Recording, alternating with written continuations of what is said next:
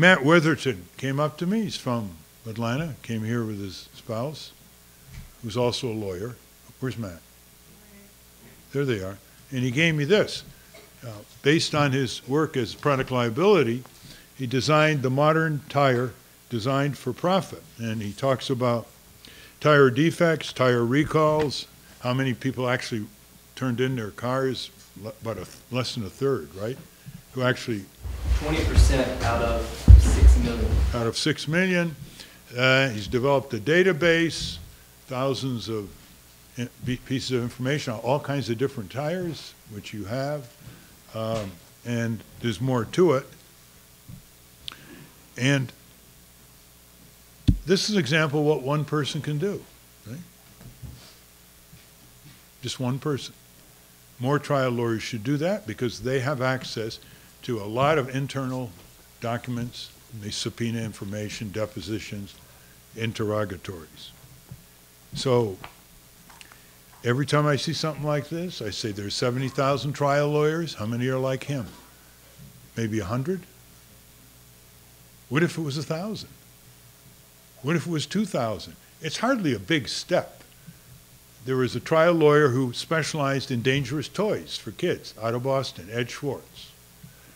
And here's what he did. People say, toys? Ha ha ha. Actually, children have been killed, burned, electrocuted, toxified, swallowing stuff because of the design of the toy, tiny things that could be swallowed. So he, he's written three, he wrote three books. He's passed away. He wrote three books. He wrote articles.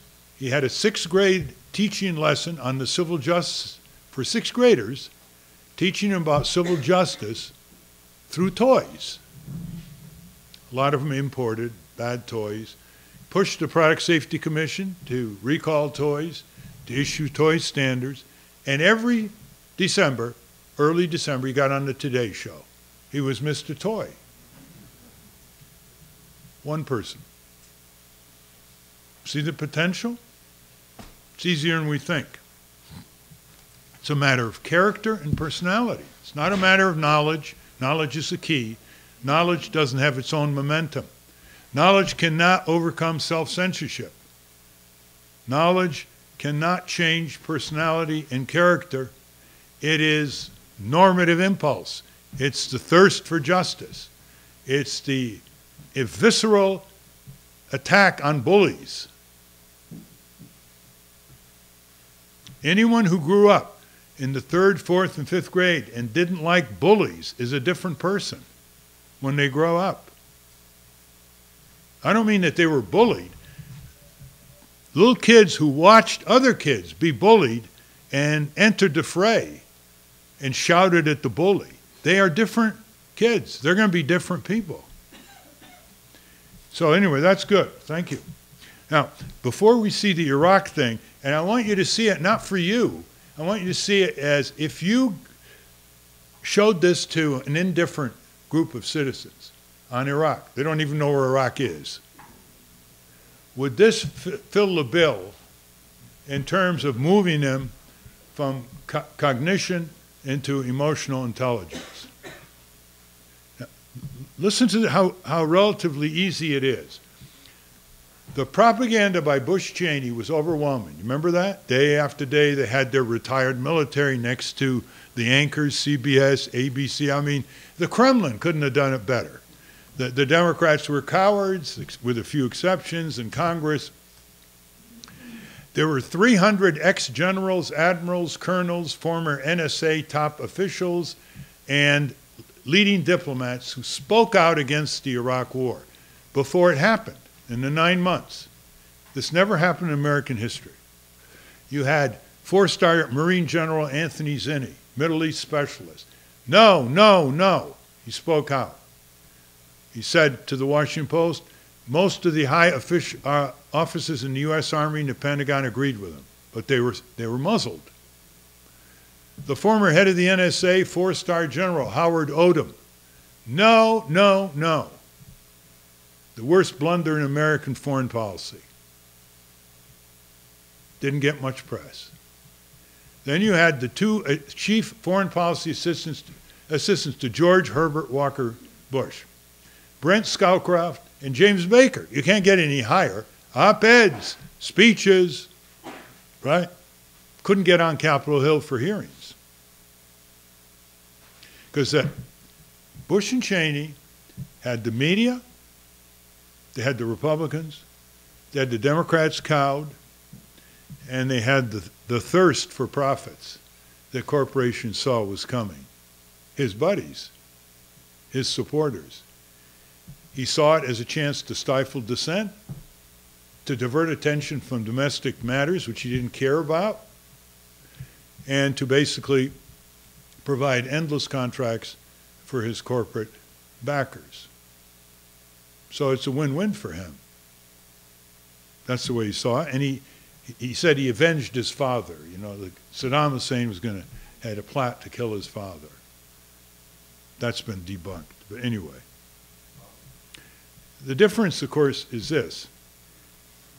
What if George Soros decided he was against the war, he wrote against the war, he put it in books. He's, he was worth 13 billion at the time. He makes a couple billion a year now. Currency manipulation and speculation. He's a genius at it. Started the Open Society Institute. Has more understanding of what it takes to build a democracy than any rich man in, our time. What if you put $200 million behind those 300 former generals, admirals, NSA people, and leading diplomats, all retired? Who's going to question their loyalty? Who's going to question their patriotism? Who's going to question their experience? Because that's what they do against dissenters, right?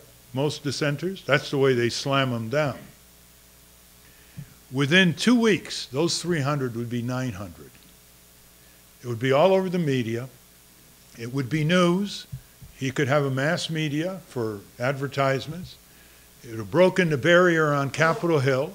It would expose the lies, falsehoods, deceptions, and cover ups that led our country into the Iraq quagmire unconstitutionally.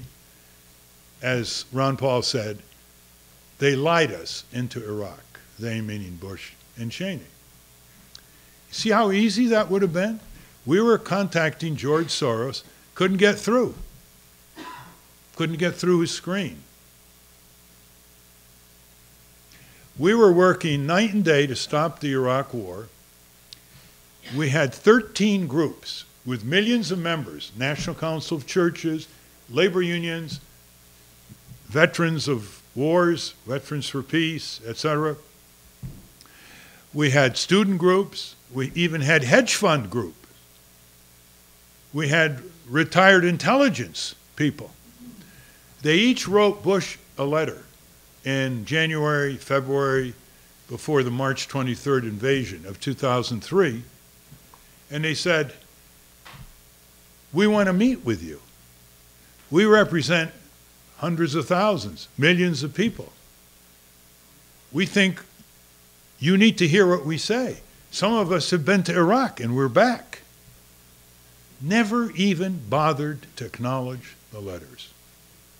No dictator could have been so insensitive. And despite all this, about half of the American people opposed the war. Just think of that. Isn't that optimistic? A complete propaganda barrage, basically unrebutted. And in their instinct, half of them said we shouldn't go in. Even though they were told that Saddam was connected to 9 11. That wasn't explicit, but it was very implicit by Bush, especially by Cheney. That was a lie. They were mortal enemies. He was a secularist. They were fundamentalists. Even though he didn't have weapons of mass destruction, actually, what he had was destroyed after the first Gulf War. Even though he wasn't a threat to his neighbors, are you kidding? He was a tot tottering dictator who didn't know where he could sleep safely at night in any of his palaces, presiding over a dilapidated army that couldn't get spare parts, not to mention their morale. He's going to be a threat to Turkey, Israel, Iran? All false. For this, they were not impeached, and subsequent to their departure from government, they were not criminally prosecuted, as the government was about to criminally prosecute Richard Nixon for the Watergate obstruction of justice. Compare the two levels of violation. All right, so before we see that, I, I want to lay a predicate on the duties of citizens. Okay? This is extremely important because we don't like to face up to that. We think we are we are uh, hectoring each other when we talk to each other about our duties. Okay, the Constitution have a Bill of Rights. We have a Bill of Rights. We do not have a Bill of Duties. There's only one duty implied in the Constitution, and that's jury duty. Seventh Amendment. It doesn't say in the Constitution you have to serve. It's implied because if you don't serve, there are no juries. So it's been made statutorily with constitutional authorization to be a duty. That is the only duty we have. So let's use the word permissive.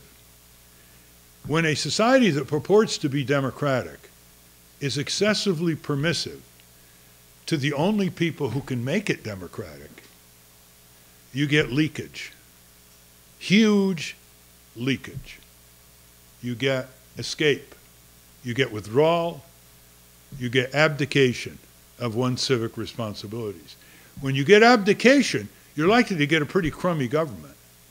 When you get a crummy government, you're likely to get a lot of citizens turning off. And so it reinforces itself in a vicious circle. Okay, so let's discuss briefly civic duties. The first civic duty is serious conversation. That's why I gave you the $2 bill. I'm inviting the only rebuke that I really am sensitive to.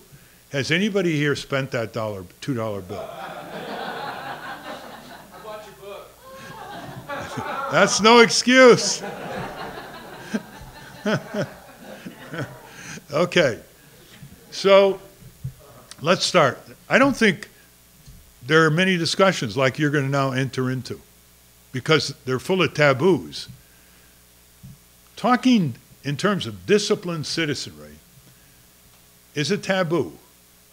It's like, who the hell do you think you are? Are you, you think you're better than we are? And aren't you arrogant?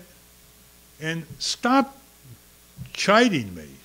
Get off my back. I've got other concerns in life that are more immediate and more insistent on my time and energy.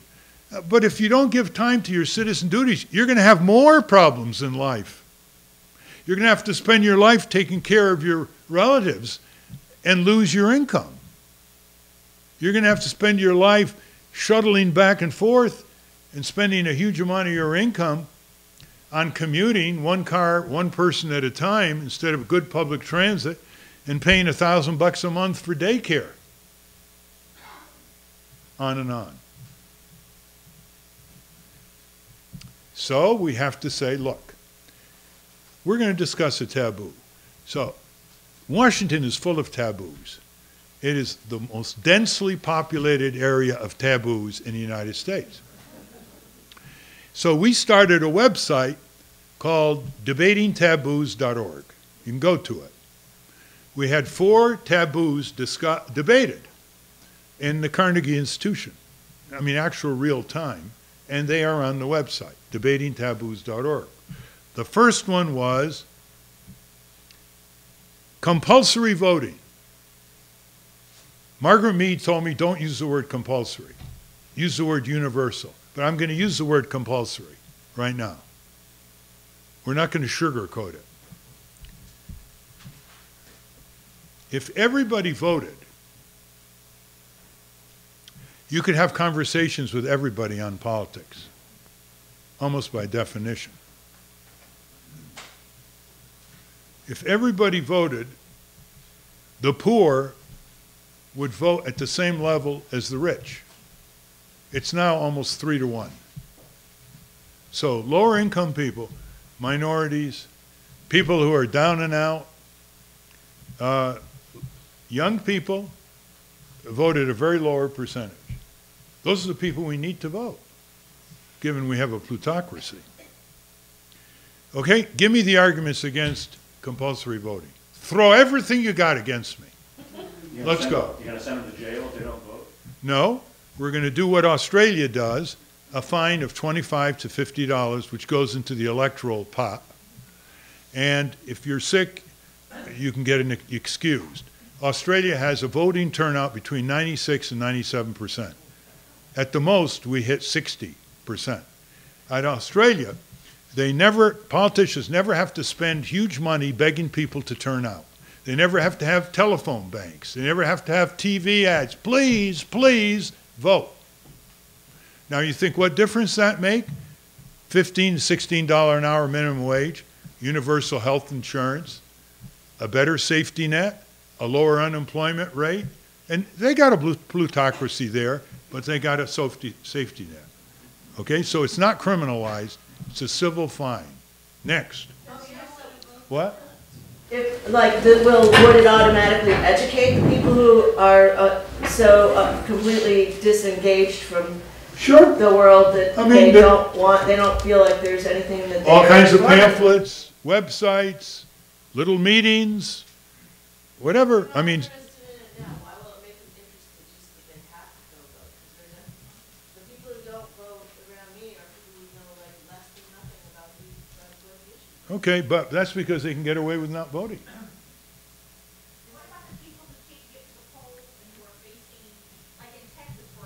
Okay? When you have compulsory voting, you have affirmative duty as a, as, as a government to facilitate voting. Either, now, of course, it's, it's so- so, you know, by mail, Oregon, Colorado, you, you got absentee voting with huge latitudes. For heaven's sake, they don't even have to go to the polls anymore. However, when you are required to vote, anyone who obstructs you is committing a crime. Therefore, there is a, a duty to enforce the law. Right now, people who obstruct you, it's like politics as usual. Hey, look at, you know, look at the voter suppression thing. Has anybody gone to jail for trying to block people from voting? I mean, they, they obstructed us as candidates. That was a big joke. You know, the, the Democrats harassed our petitioners. They went to a woman's home when she's cooking dinner for her grandchildren and said, You're petitioning for the Nader candidacy in Oregon. Do you know that you've got fraudulent signatures and you can go to jail? It's a complete lie. What happens was there were a few people who, who basically deliberately wrote fraudulent names to contaminate our petition. So now it's like, it's just like, hey, that's politics, you know? Grow up. All right, what else? You're, you're assuming that if everybody votes, we'll see those changes that you earlier talked about, because everybody's voting. But now, I've talked to people who say that uh, the the corporate media makes a big deal about how low the turnout's getting, and they always want it to be over fifty percent. Yeah. That somehow gives it legitimacy. And now I know some people say, "I- if it's Hillary and a Romney, I'm not going to vote, because I- when I vote, I am legitimizing the system. You're, you're detouring. What, how, how is that an argument against compulsory voting? You're making another point. Yeah, you're making a, okay, argue against, com- yeah. My vote doesn't count. What do you mean your vote doesn't? Well, I actually documented my vote not counting this time because I voted write-in and the county said there were no write-in candidates. Okay. But when you have compulsory voting, Carol, you don't have a write-in vote where they can throw it away, the way they threw our write-in votes away in Oklahoma. But it undervotes unless you change the whole system, Pardon? unless you change the whole electoral process, an undervote still is thrown out and not counted when you write it in. Yeah. And that's the argument I get from people who say they're not voting. Why would you want to write it in? I don't know why, but many do. Only if there's a space, I mean, there's each state. Okay? You're, you're getting to something. You're getting, let's see if we can flesh it out. Yeah. National rules for national elections, not every state making their own rule about registration, Right. registration, who can vote, who can't. All eliminated Right. when you have compulsory voting. Gone. Yeah, way out there. I'm an elections inspector. I, I can tell you there are people out there who The people what? there are people out there who are, I've said, throwing darts at, at the ballot. I had uh, someone who voted five times in the governor column. Right, that, that's a criminal offense. No, no, th- this was ignorance, and I'm telling you, it was cl- uh, pure ignorance. Um, it- You know, they, that's all I'm saying, I mean, it's, that's my answer to your question. You will get some people who will rebel. and- No, they're just not, they, they don't know what's going on. They're They don't know what's throwing going- darts at the ballot. No, no, they will be taught what's going on, just the way you're taught how to use small claims court without a lawyer. That's part of the teaching process. When you have a compulsory duty, you have a strong correlative to that, which is to iron out those kinds of problems and to, and to help people. Yeah? The Basic argument is it takes away my right, I have the right to not vote. I mean, that's what I, Okay, Now we're that's, getting down to the nitty gritty, right? Okay? Here's, give me another civil liberty argument beside that one. Yeah. States' right. In, in other words, each of the 50 states make their own uh, local voting That's true. rules and so. That's true. Eh, That's what I'm saying. State, every state, compulsory voting. Yeah. Yeah, go ahead. against my free speech rights to force me to make a decision in that voting booth. Okay, okay. So here's your choice. Let me see if you still persist. You- Here's the choice. You can vote for candidates, okay, no, no, no, I know. Let's say you can vote for candidates on the ballot. You can vote for yourself. You can vote for a write-in candidate. Or you can vote no to all of them. None of the above. that's the answer right there. And yeah. that is the one thing I've heard so many times is if I had a choice for none of the above, and if none of the above wins, then that is a protest that you have not given us candidates we feel we want to elect and we want another. That's right. If you have binding none of the above, it cancels that line of candidates and saying 30 days, new election, new candidates. So by, none of the, now there's only one place in the country that has none of the above statewide, but it's not binding. But on some occasions, it's actually coming second. It's Nevada. It's, it- it's not binding, though. If it was binding, people would take it more seriously. Now, this is, this is an action project to get none of the above in your town or your state. It's called None of the Above Advanced Packet, an idea whose time has come. This is coming out of our group, our group. It has everything you can think of to start a campaign, right down to a model news release, a model letter to the editor, planning a local NODA conference, how to build support for NODA, on and on. Okay? Here's where I'm coming to. And Arthur made a good suggestion, which I was very attuned to, that before we end this weekend, I'm going to propose five action projects, and you can pick whatever one, or six, and you can pick whatever one you have, and then you have a little gathering, you know, split off in different parts of this room, and then you report back. You will pre-select yourself in terms of which one you like, and you report back.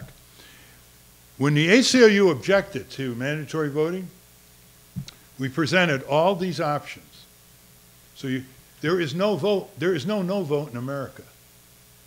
You cannot vote no. If you vote, you have to vote yes to something. So there's no no confidence vote.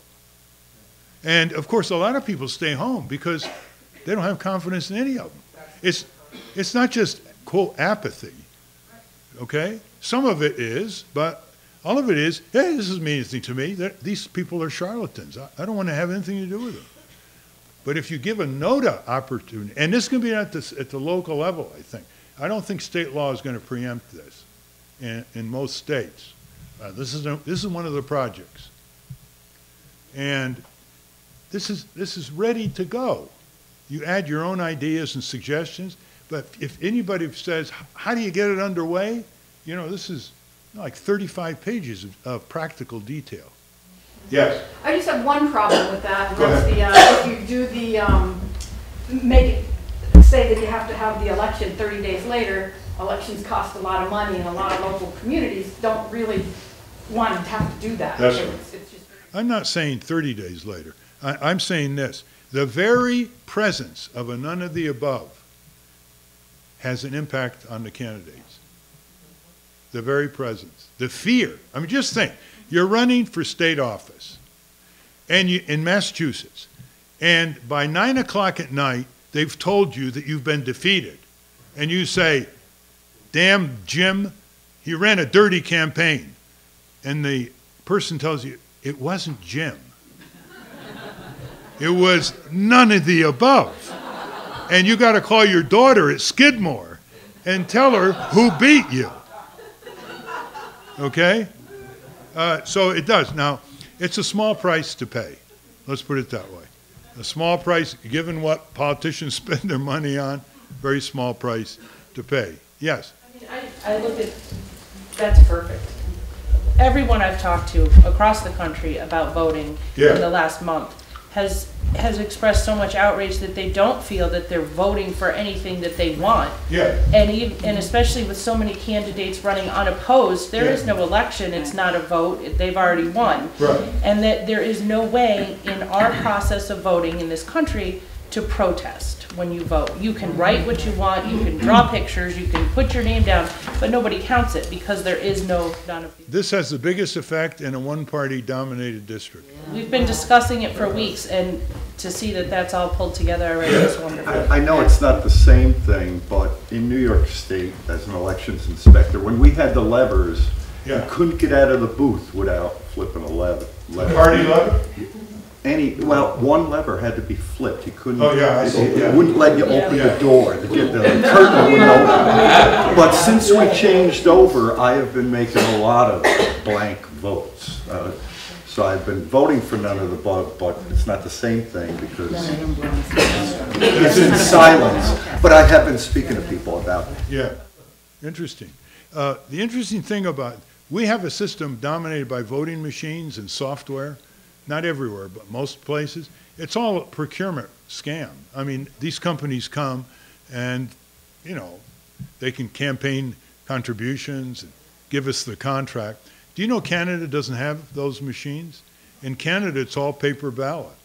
And by 11 o'clock at night, in this sprawling country, bigger than ours, from the Arctic to Nova Scotia, they know who won. Did you see the ballots for Scotland? No. They're just a very simple paper ballot. Yes, no. Yes, no. That was it. That's right. Did you ever see the Canadian Universal Medicare bill compared to the Affordable Bill, the Affordable Health Act? Well, that was well over a thousand pages, 13 pages. Everybody in, nobody out. Free choice of doctor and hospital, public funding, private delivery. They do it on half the price, better outcomes, nobody dies because they don't have health insurance, free choice of doctor and hospital. How many people now with these networks tightening like nooses, these doctor and hospital networks, how many people have free choice of doctor and hospital, in, in, in, hospital? Okay, um, let's take another civic duty. Give me another civic duty. We got jury duty, we got voting duty. What's another civic duty? Paying taxes. Okay. Or elaborate. If you work, well, most people, if they work, have to pay taxes. Right. In order to fund the infrastructure Right. that supports our community. Okay. Okay. The IRS reports that every year, over $300 billion of uncollected taxes. B, billion. Okay? So that's, you know, that's more than the entire budgets of most departments and agencies in government outside the Def- Defense Department and Department of State. That's a lot of money. So there are a lot of people evading. Some of them are called corporations. They do it big time. We're not talking avoiding where they get the law through that lets them escape. That's legal, even though it's, it's unfair. It's legal because they game the system. Uh, And that's why General Electric, for example, can make billions of dollars in U.S. profits, pay no federal income tax, and get a, get a quote refund from the Treasury Department, right? It's called the benefit. They actually get a check. They come out ahead. Um, And there are a lot of others that escape. So that hap, that means two things can happen. One, you have to pay more, or you get less service. You get fewer, that's why your public works may not be uh, repaired. What, any, what other jury, whatever duty of citizenship? Obey the laws of the land? Yes. That argues, by the way, for why we should have compulsory voting. If we have to obey the laws of our lawmakers, who are our representatives, we darn sure should have to have universal voting. It's another argument. Yes, Margaret?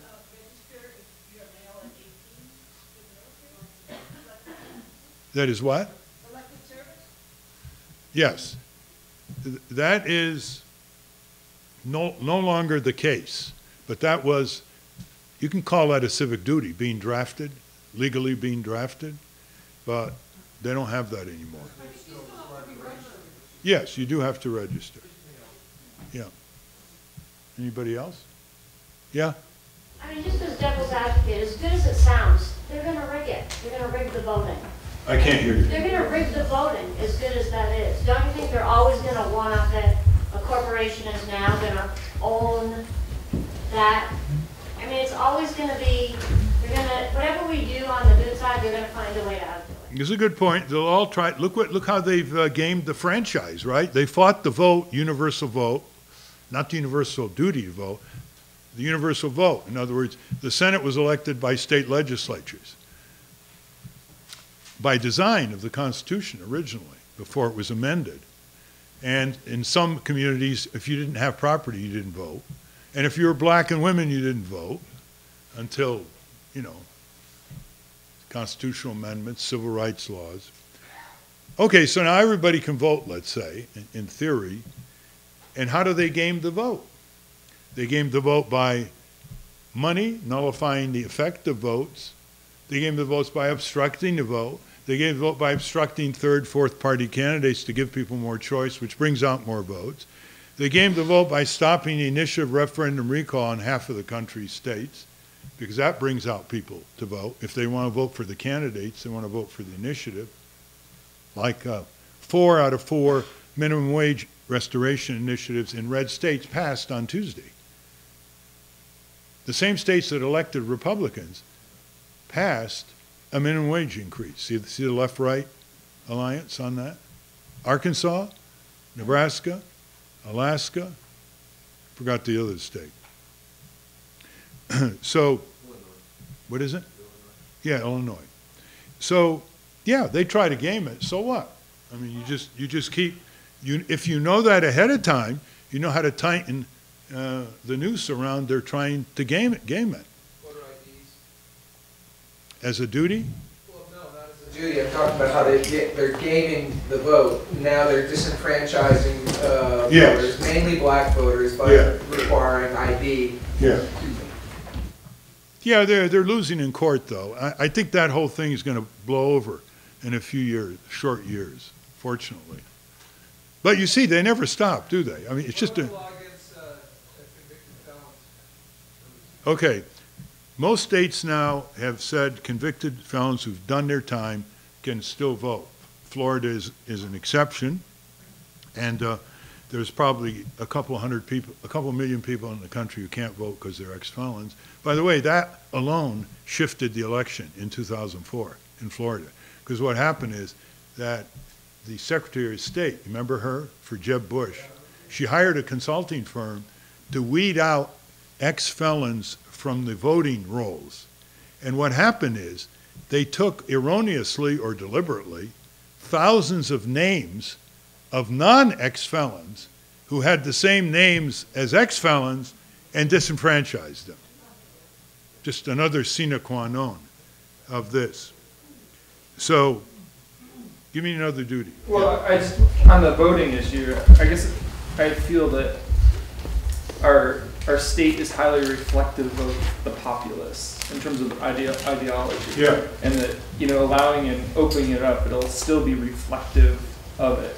And perhaps the, the third party candidate will be voted in or will emerge Okay. when it needs to happen, when society is ready to. What allow- state is this? Just in general. Oh, just in general, okay. What else?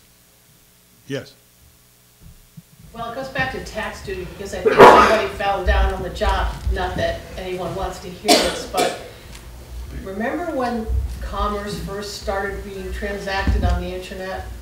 I remember checking with the state revenue department on sales tax, because they said the burden was on the buyer to pay, or at least retain, the um, amount of sales tax when dealing with other out-of-state, you know, people that they couldn't enforce on. And so, you know, I kind of kept a little aside, not for very long, but, you know, I know, what an idiot. But, um, to the, it it was laughable, and when you think about the consequences, of what it did to local business, um, you, you know, there's a lot of benefits that come, but basically, it's all chasing price, which of course chase, chase production out of the country, as you were describing earlier. But, but I think they were derelict in their collection duties okay, very early on, probably because they just didn't get it. okay. So, uh, sum up, why don't we have a discussion like this in all elections? Presidential, congressional, state, why don't they discuss this? Well, I mean, uh, that's a parochial response, thank you very much. But, but generally speaking, what keeps people like Elizabeth Warren uh, from discussing universal voting?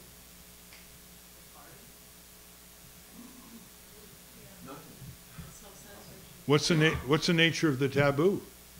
She thinks she could lose votes that way? It's an unpredictable foray, foray in the unknown?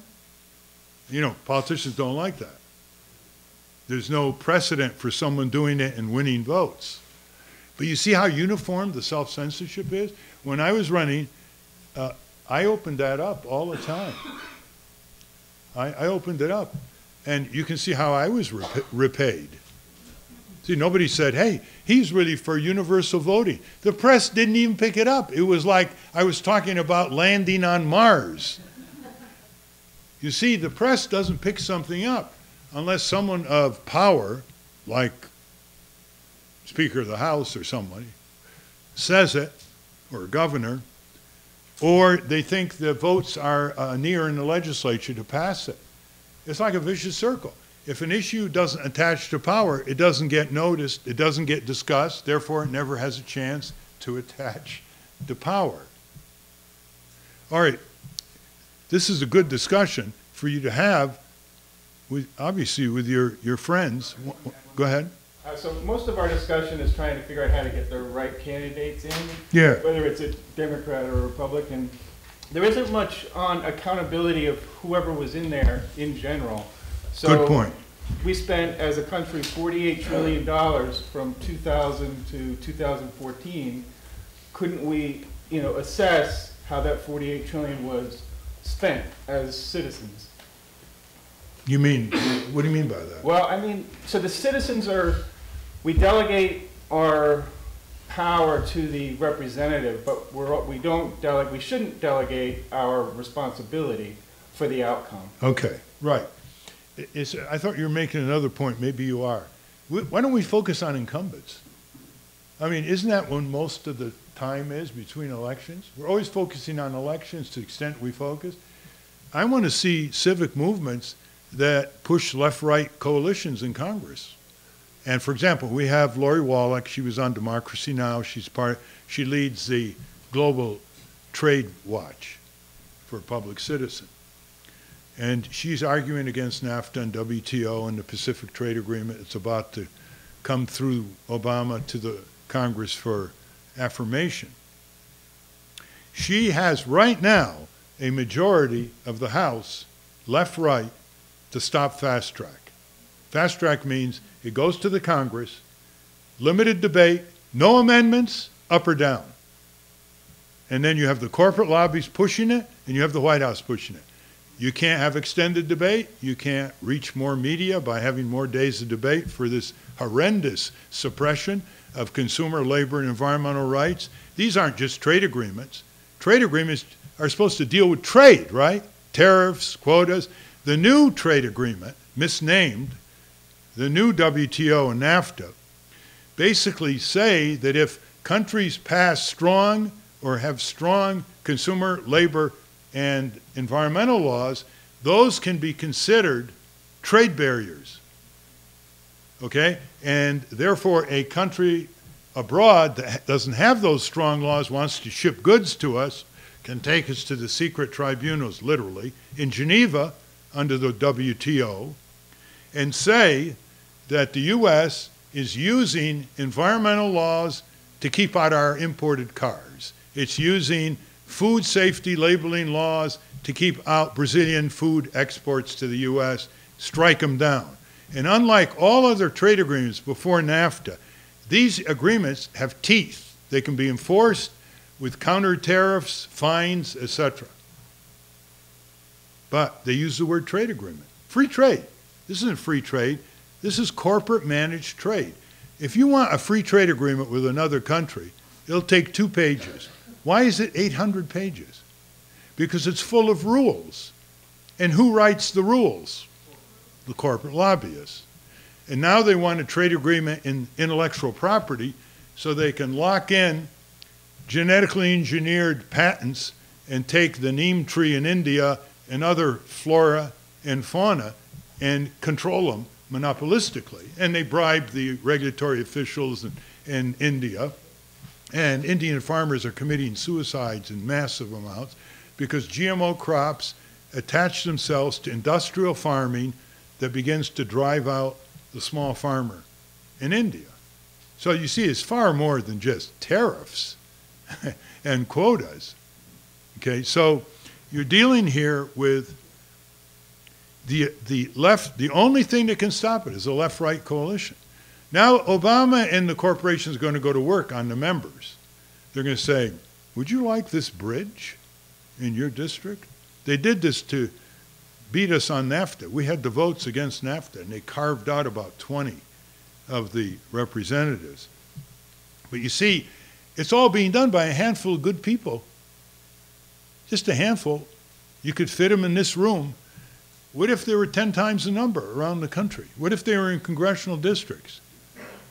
You would never see these trade agreements because they are complete suppression of our ability as a nation to be first. We couldn't have had airbags because they would have had to go to committees of the WTO so that we sandpaper them into a uniform low common denominator standard, and we'd be outvoted.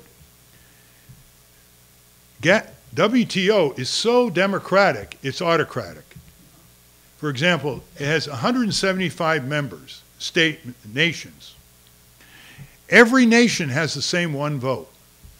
So St. Kitts, with 75,000 people in the Caribbean, has the same vote as China or the U.S. Now you'd say, wasn't that wonderful? I mean, one nation, one vote. But these nations are very vulnerable to being taken over by some multinationals or some banks. So it's very hard to amend it, but it's not hard to get out. Every nation can give six months' notice and get out. We could get out and say, we're getting out unless we change these rules. We open up the tribunals, we drop the secrecy, and we no longer allow trade agreements to suppress consumer, environmental, and worker standards. We want trade agreements in workers, you know, to lift workers up and right to unions, fine. Want trade agreements in consumer issues like medicines, fine. We want trade agreements in environment, fine.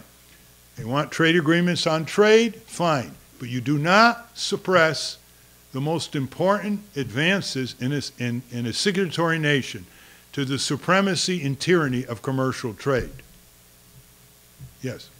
But I remember the NAFTA debates, and they told us that even though there aren't environmental and labor uh, laws, we are going to fix it later.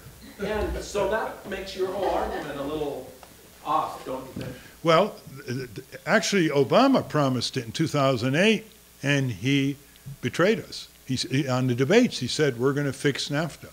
And he said, uh, we're going to do it on labor and environmental issues. And uh, that was the end of it. So he didn't do it. He- now he's going NAFTA on steroids, called the Pacific uh, Trade Agreement. Ralph, what about the case of Argentina where two hedge funds are holding them hostage to repay debt to two funds controlled by individual capitalists in the US to threaten to bring down the whole country? Well, that's the problem of being indentured to international finance. You'll see all the full-page ads. You see them by, there's, there's the hedge fund ads and there's the Argentine funds and they, they, well, they, you know, uh, uh, defaulted on their debt and back and forth and, you know, most people say, what's all this about? This is what happens when you have excessive interdependency between rich nations and less rich nations. You're going to get hosed. That's what. Pacific what? Green? green Oh, oh, Pacific Rim. Okay, now the reason why I, I chose to have this discussion before this, excuse me, is because I don't want you to look at this and say, ah, people won't get off their duff and do anything. I mean, there's got to be internal discipline among voters. There's got to be internal discipline among co-op members. They've got to show up. It doesn't work if they don't show up. Not just enough to pay their dues or get their refunds or buy. They've got to show up. The Berkeley co-op collapsed because one, not enough people showed up, and two, they fought over South Africa. They fought over external issues uh, to the co-op, which isn't bad, by the way. I mean, to use economic power to focus on U.S. policy, apartheid, and disinvestment, and so forth. But showing up, you cannot say that phrase enough. And showing up is facilitated by a growing sense of civic duty.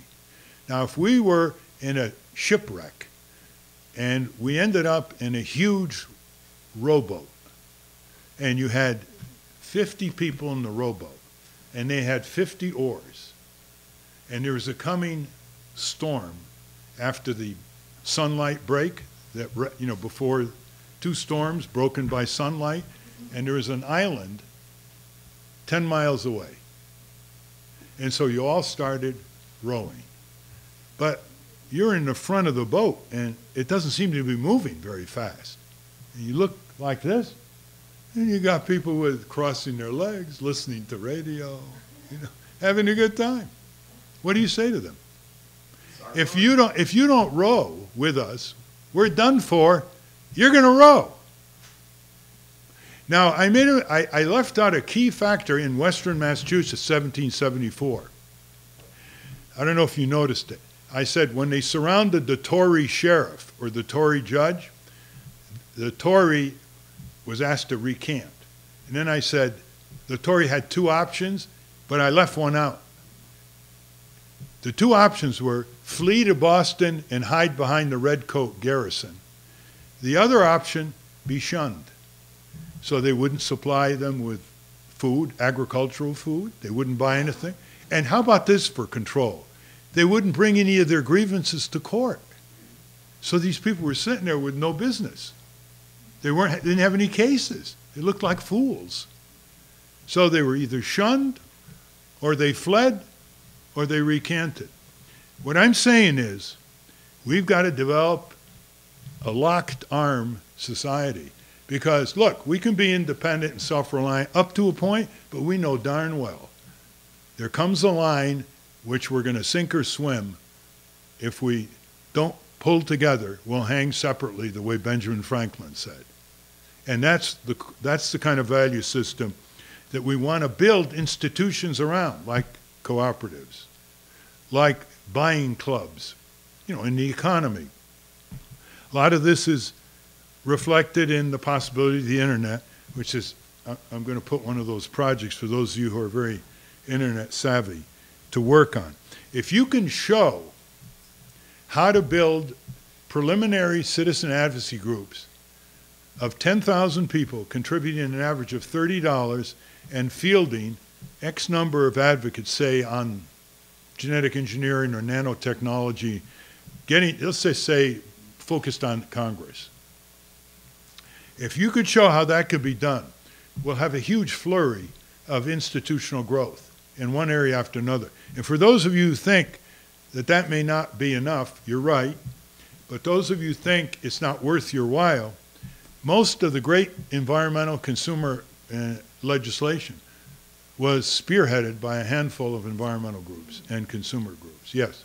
Why can't we build on 350.org, that's a national network, internet-based, and I'm paying them $5 a month?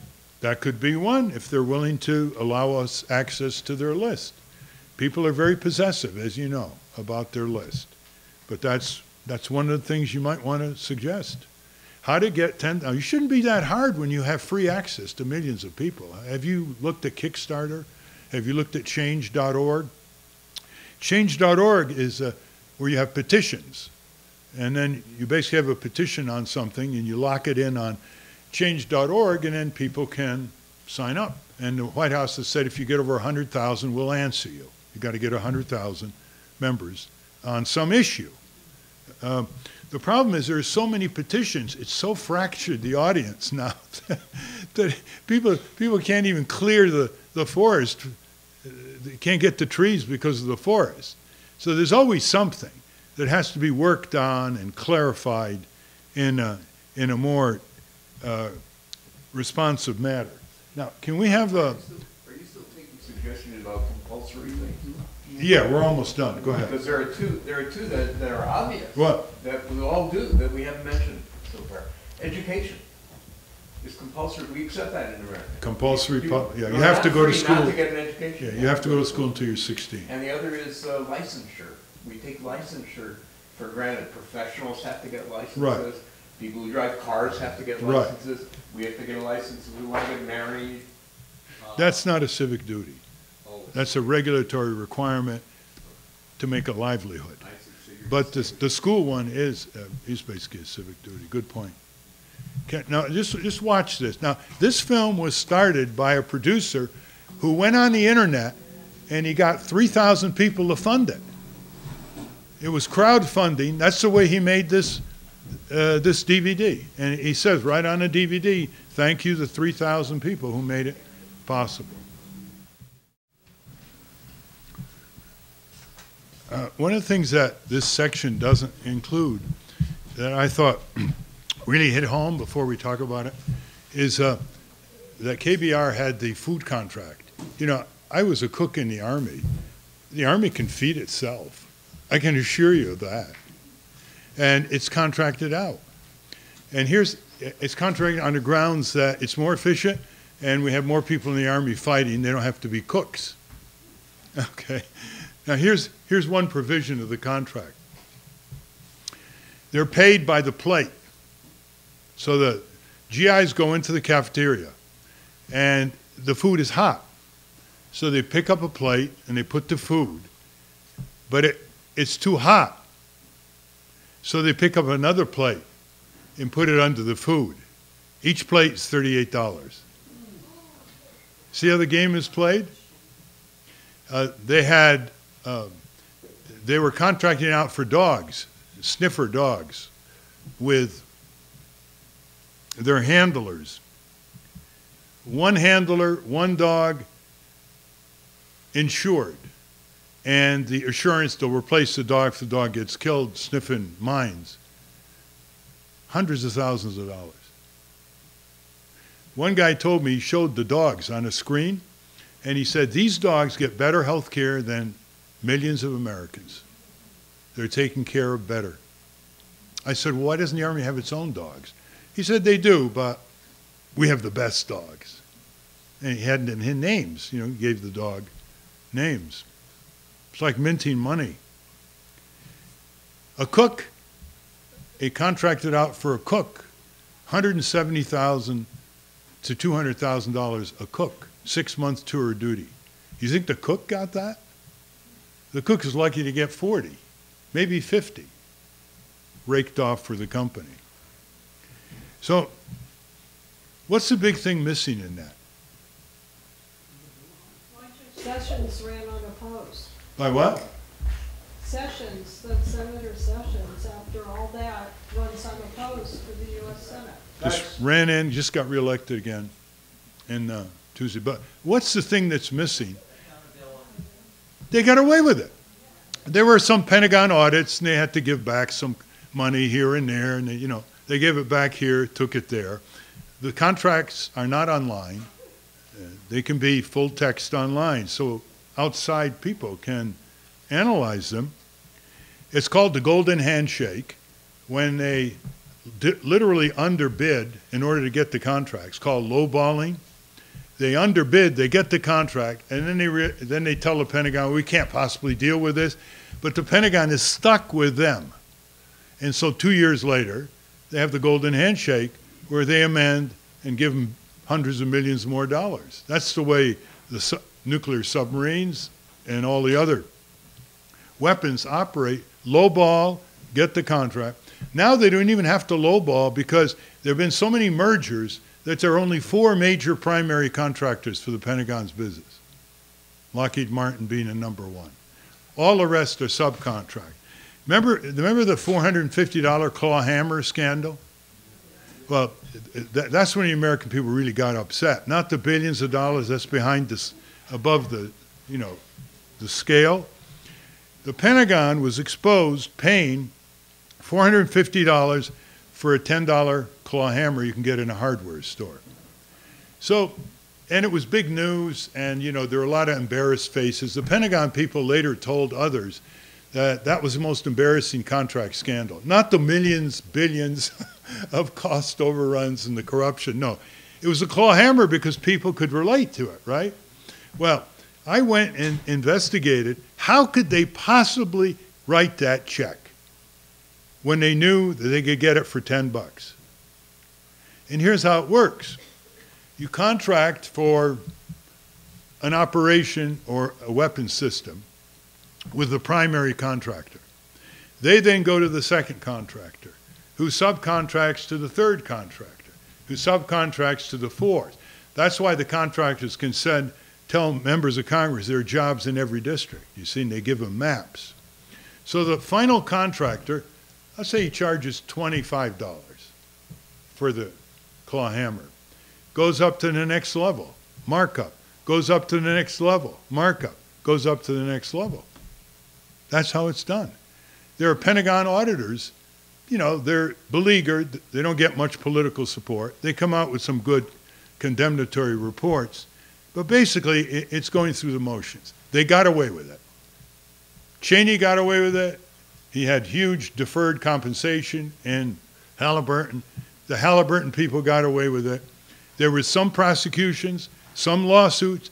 They hired the corporate law firms, deductible business expense, if not reimbursable. No matter what happened, what was thrown at Halliburton, and a lot was thrown at him, the corporate structure of diffusing and escaping responsibility prevailed. On top of it, we give these corporations the rights of human beings, and they have privileges and immunities we will never have. And you see, we cannot have a democracy where corporations have equal rights with human beings. You have to have a double standard where corporations, constitutionally and statutorily, are subordinated to the rights of human beings. Only human beings should have constitutional rights, not corporations. So they should not be allowed to lobby as corporations. They should not be allowed under Citizens United to give money to any campaigns, independent or coordinated.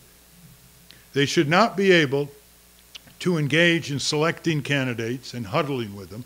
All this should be crimes. Only individuals can do that. Maybe individuals inside companies, they have rights like anyone else, but not the corporate juggernaut itself. That's so the two ways to deal with corporations is subordination to real people constitutionally. That way we can tax them differentially, we can regulate differentially, we can make them put stuff in their envelopes to establish all kinds of groups, worker, labor groups, no constitutional barriers like the 5-3 Supreme Court decision. And the other one is displacement with small local business. And not so small, credit unions, community banks, renewable power, community health clinics, all that. That's the displacement, that's the self-reliance, that's what educates people on the superiority of business where you know where things are produced, you know who produces them, you know how they treat their workers, for better or ill, they're close by, you can hold them accountable. You don't know anything about 300,000 workers in China producing iPhones for Apple. They work 70 to 80 hours a week. They're among the highest paid workers. They get, if they're lucky, a buck an hour, no benefits, and the company supplies free nets on the second, third, and fourth floors to catch people who are committing suicide. Because they live eight in a dorm, they're separated from their families back in their villages, are abused in a whole series of ways, and they want to kill themselves. The, over, the turnover is enormous. It's not like, oh, well, they, they have no job. The turnover in the maquiladora factories on the Mexican side of the Rio Grande is 50 to 60 percent a year. They need the jobs, but the abuse, the living standards, the corruption, the harassment uh, is intolerable. Eight to a room? And so Apple Computer looks great. You know, looked like a nice, clean company. They can't possibly afford to buy any of the products that they produce.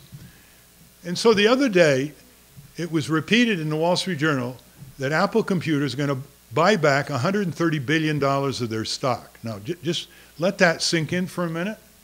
They've already bought back part of that. $130 billion of their stock is 13 years of EPA budget, if you want to compare it.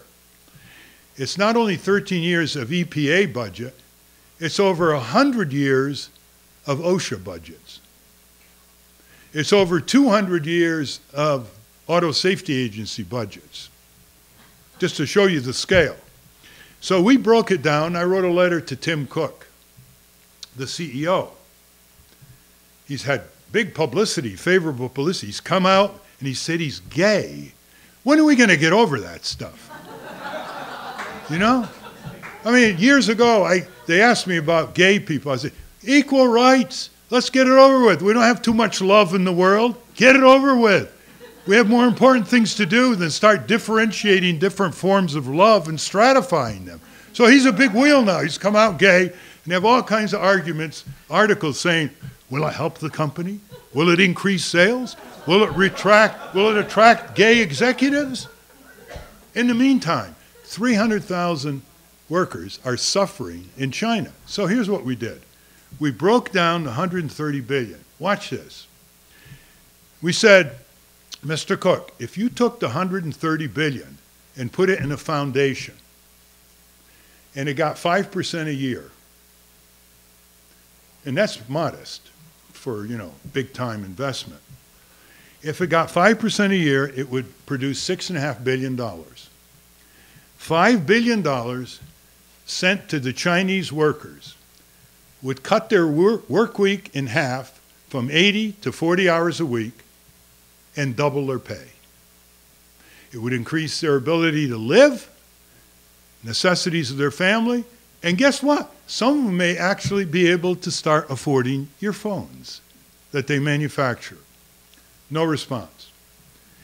The other way to use the money, it could be used for research and development. You could use the one and a half billion left over to improve the salaries of lower paid Apple workers.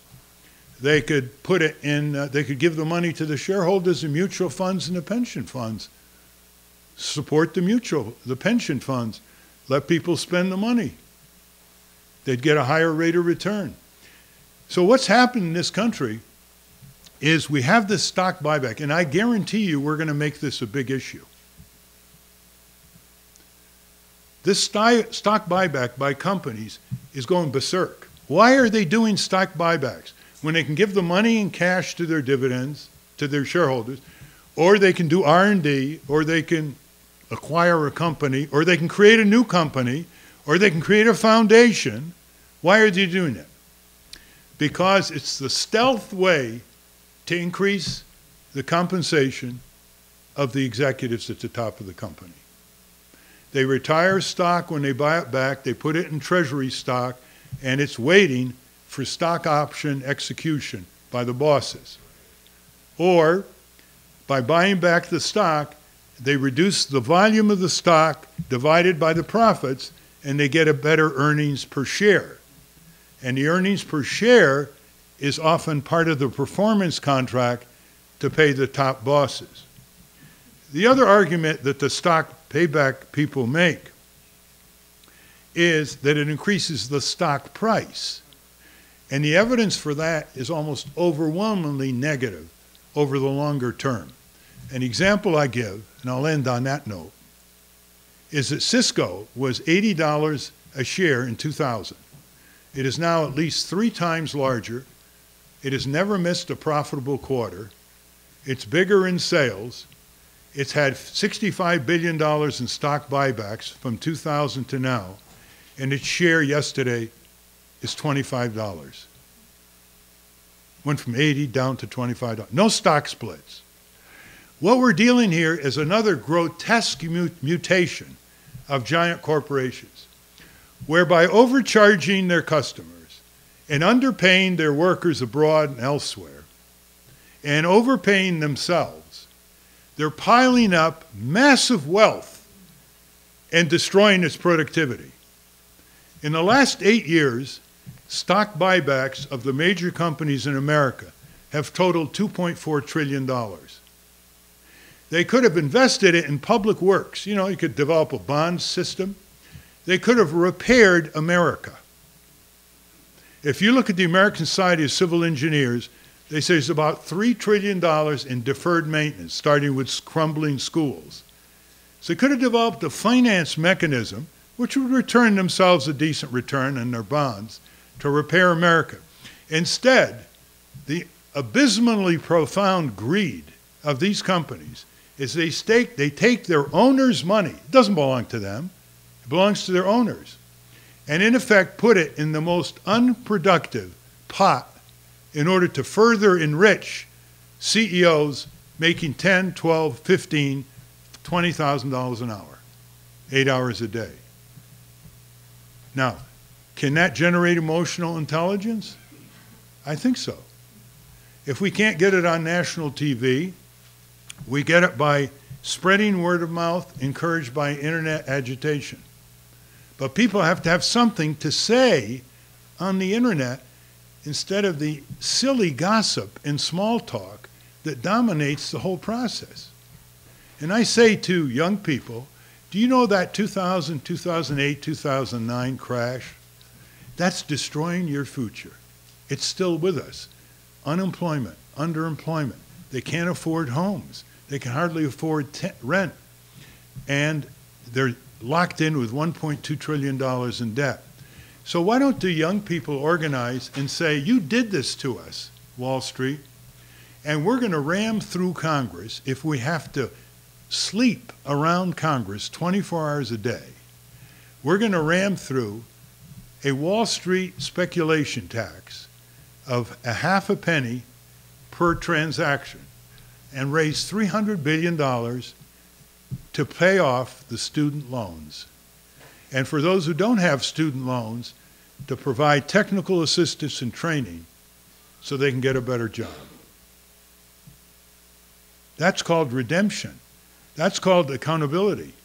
They not only got away with no criminal prosecution, they got away without any kind of responsibility for bringing this economy down, taking 8 million jobs, bailing out trillions of dollars on the backs of taxpayers, and shredding pensions and mutual fund values.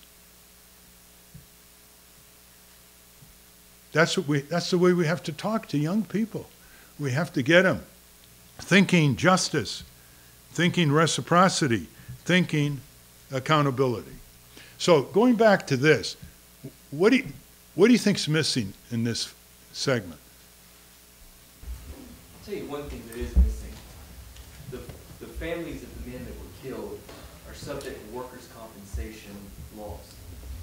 So when they're put out into the roadways to be killed, their families have no recourse legally other than the meager amounts they would get for workers' comp and/or the murder bonuses that are in their contracts.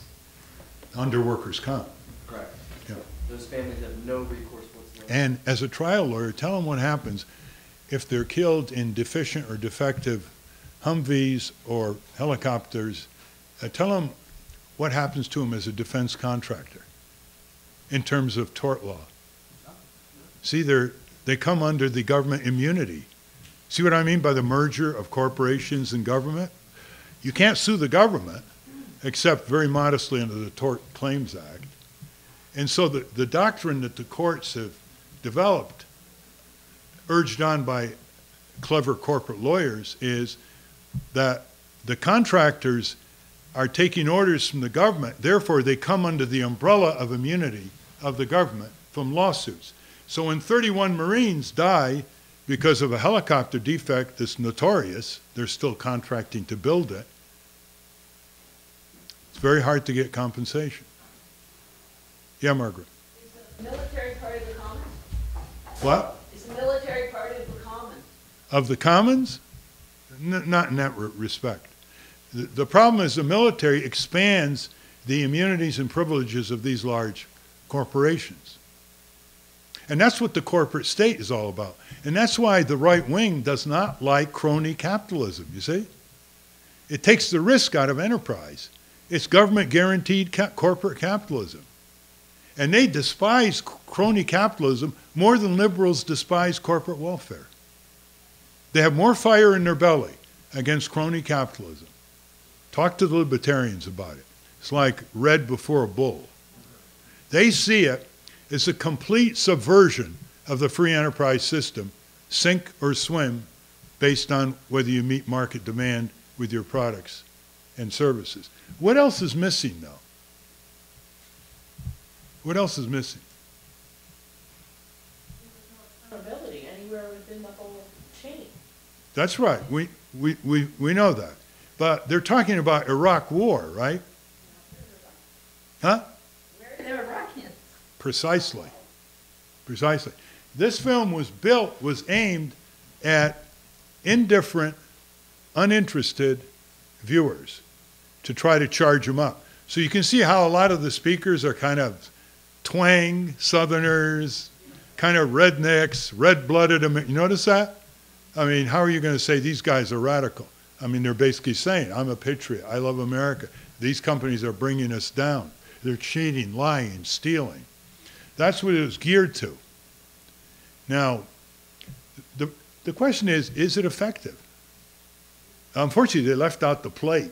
I thought the plate was the equivalent of the $450 claw hammer, right? You put two plates and it's 70, you know, 76 bucks. Two empty plates, 76 bucks. It was too focused for me on Halliburton because you had Dianne Feinstein's husband making Yeah. billions of dollars from housing for the troops. You had Yes. John Kerry made more profit actually from the Iraq war than anyone else. Yeah. I mean, it just made it seem Yeah. like somehow Cheney burned Halliburton Right. instead of fundamental to the corruption of the war.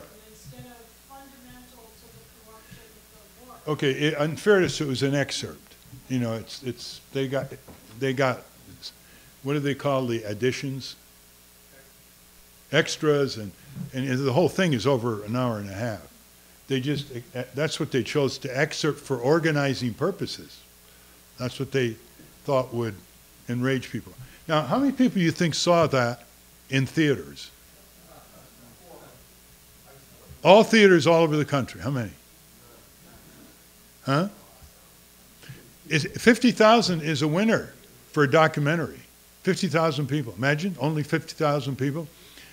We live in the golden age of documentaries. They've never been better, never been more numerous, never been brilliantly produced. We live in the golden age of muckraking books. I can tell you that in the 60s, if 10 muckraking books came out exposing the coal industry and the auto industry and the oil industry, today you have 100. You, you can't keep track of them. They're so, so good. Jeremy Scahill and so on and so forth on, on Blackwater. And despite all this, it's having less effect than Silent Spring, Unsafe at Any Speed, and The Other America by, uh, on the poverty by uh, Harrington, Michael Harrington. So that, I'm just leaving you with, with that to ponder. Why is that the case? Um, just, you know, run with your own explanations. The most common one is we're overloaded. I don't quite buy that. We're overloaded. These are, these are really brilliant document. I mean, I, I'm not a documentarian. I don't know much about it, but they're superbly uh, balanced between real information and legitimate generation of, of critical emotions. Yes. Good thing and it seemed to work well. Yeah. Not, uh, Yeah. making it kind of apolitical to the Iraqi situation. Right. But do you, do you see any disingenuous, this, In, the, in this clip? The fact that you're not uh speaking about? Not what? That you're not speaking of Iraq war. I mean, the people's, I remember seeing Right. clips of this, and part of my thought was, well, you know, you, you went without question. Yeah. Yes, it, it, the, the focus on is big business profiting from war, ripping off the taxpayer, endangering soldiers, endangering workers who are part of the contractors. Very little on the Iraqis, right? You notice that? Okay, now, now I want to get, beg your indulgence. I'm going to show you another clip. And it's between, in a, in a church in Albany, New York, and it's, it's me and Patti Smith. And it was done without our knowledge by some Rensselaer engineering professors who were in the audience, and they took a lot of tape and all that, and they boiled it down to about 35 minutes. Now, I don't want to burden you so much with 35 minutes, but let's play about 15 minutes. You will see another take on the Iraq War. And do you all want to take a little break? Okay, well, you, you go out when you need to, obviously. Um, it, it's another take on the Iraq War. I want you to tell me whether it is sufficiently emotional, too emotional, uh, whether it is too fact deprived, too many facts. This is, uh, even though I'm in it, I've never quite seen anything like that because of Patti Smith. And what she composed, she composed a poem called Radio Baghdad when she saw the slaughter that was going on. And there was unbelievable slaughter. I mean, imagine firing on a defenseless city, one of the great historic cities of the world, from U.S. destroyers and aircraft to start the Iraq War with the consummate imperialistic slogan, shock and awe. Just think of that. And think of the people who didn't quite buy into pinpoint bombing on Saddam's palaces and this tremendous barrage coming at them, and they knew it was going to be followed by an invasion from the most powerful military in the world. And they knew they weren't going to be defended by their leaders and Saddam. Think of the terror of living under drones 24 hours a day.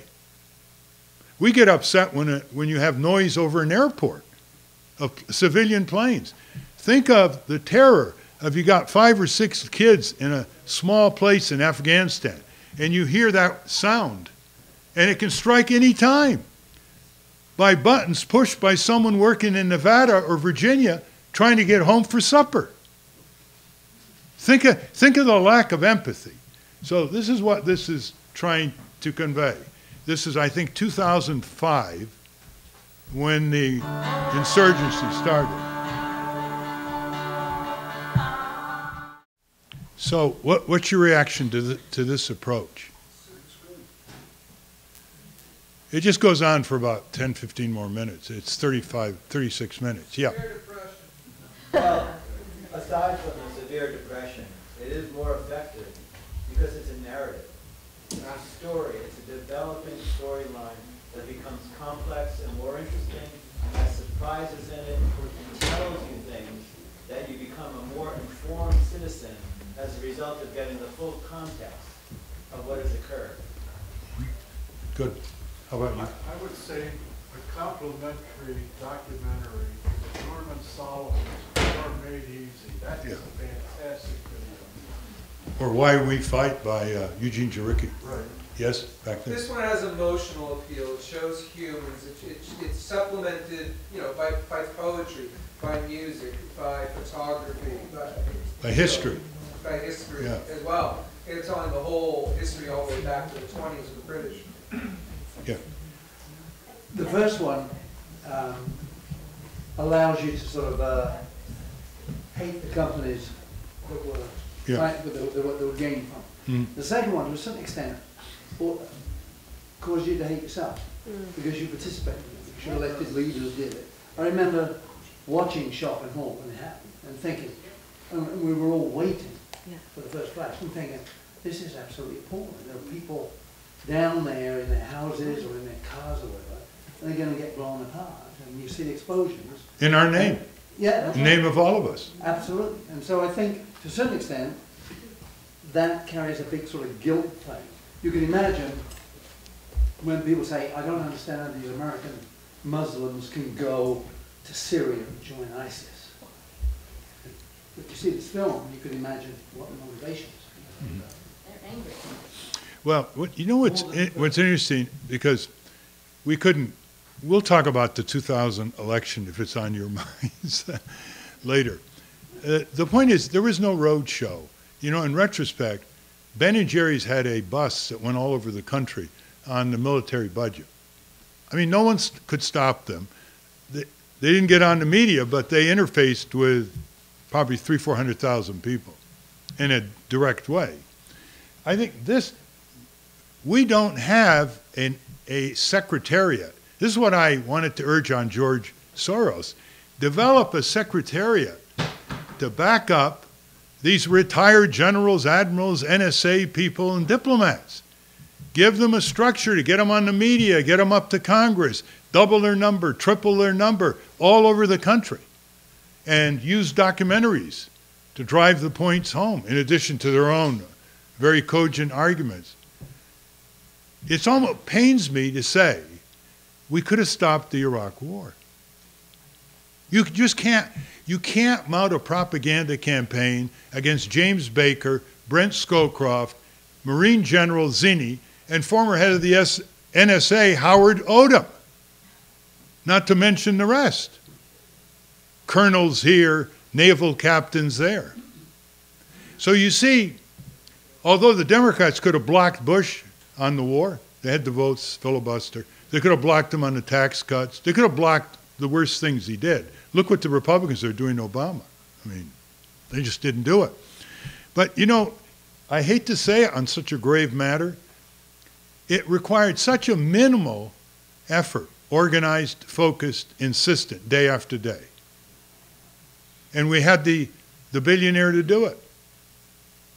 Now, what if Zinni and Scowcroft called Soros? They would have got through, right? They would have got through. Baker would have got through. It might have happened. The problem is, the, the problem is that not all of us can do these things well.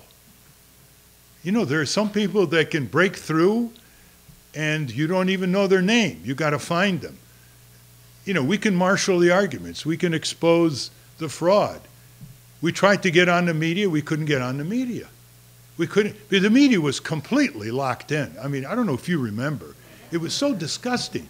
You know, they took the retired pussycats, you know, the retired toadies, who were on fat consultantships that they, that they never disclosed. And then they got paid by the NBC, NBC, CBS uh, to provide commentary. And it was very, very restrained and self censored commentary.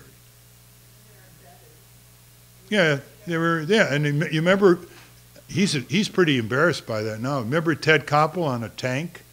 And he, he was on Nightline, and they went over the border, and where they shot their first Iraqi just at random from 250 yards out, who was in the desert. You know, it's, it's, it's demeaning to the press. One of my friends, Paul, uh, Sloyan, Pat Sloyan, he worked for UPI and then he worked for Newsweek. He went over there and he refused to be embedded. And he really took him on. He won the Pulitzer Prize for that. But he told me just how demeaning his colleagues were to even allow the word to be used, embedded. If you, if you don't want, if you don't go over there as an independent journalist that decides who to ask questions, who to look into, don't go over there at all. To, ha- to be an embedded journalist is an oxymoron. You're not a journalist. You're a puff piece. Yes. Before the first bomb, I remember people weren't asking the question you said, you know, where's the proof? But there was one person, and I felt very focused on him, and it was Scott Ritter, because he had proof. He, he was a UN inspector.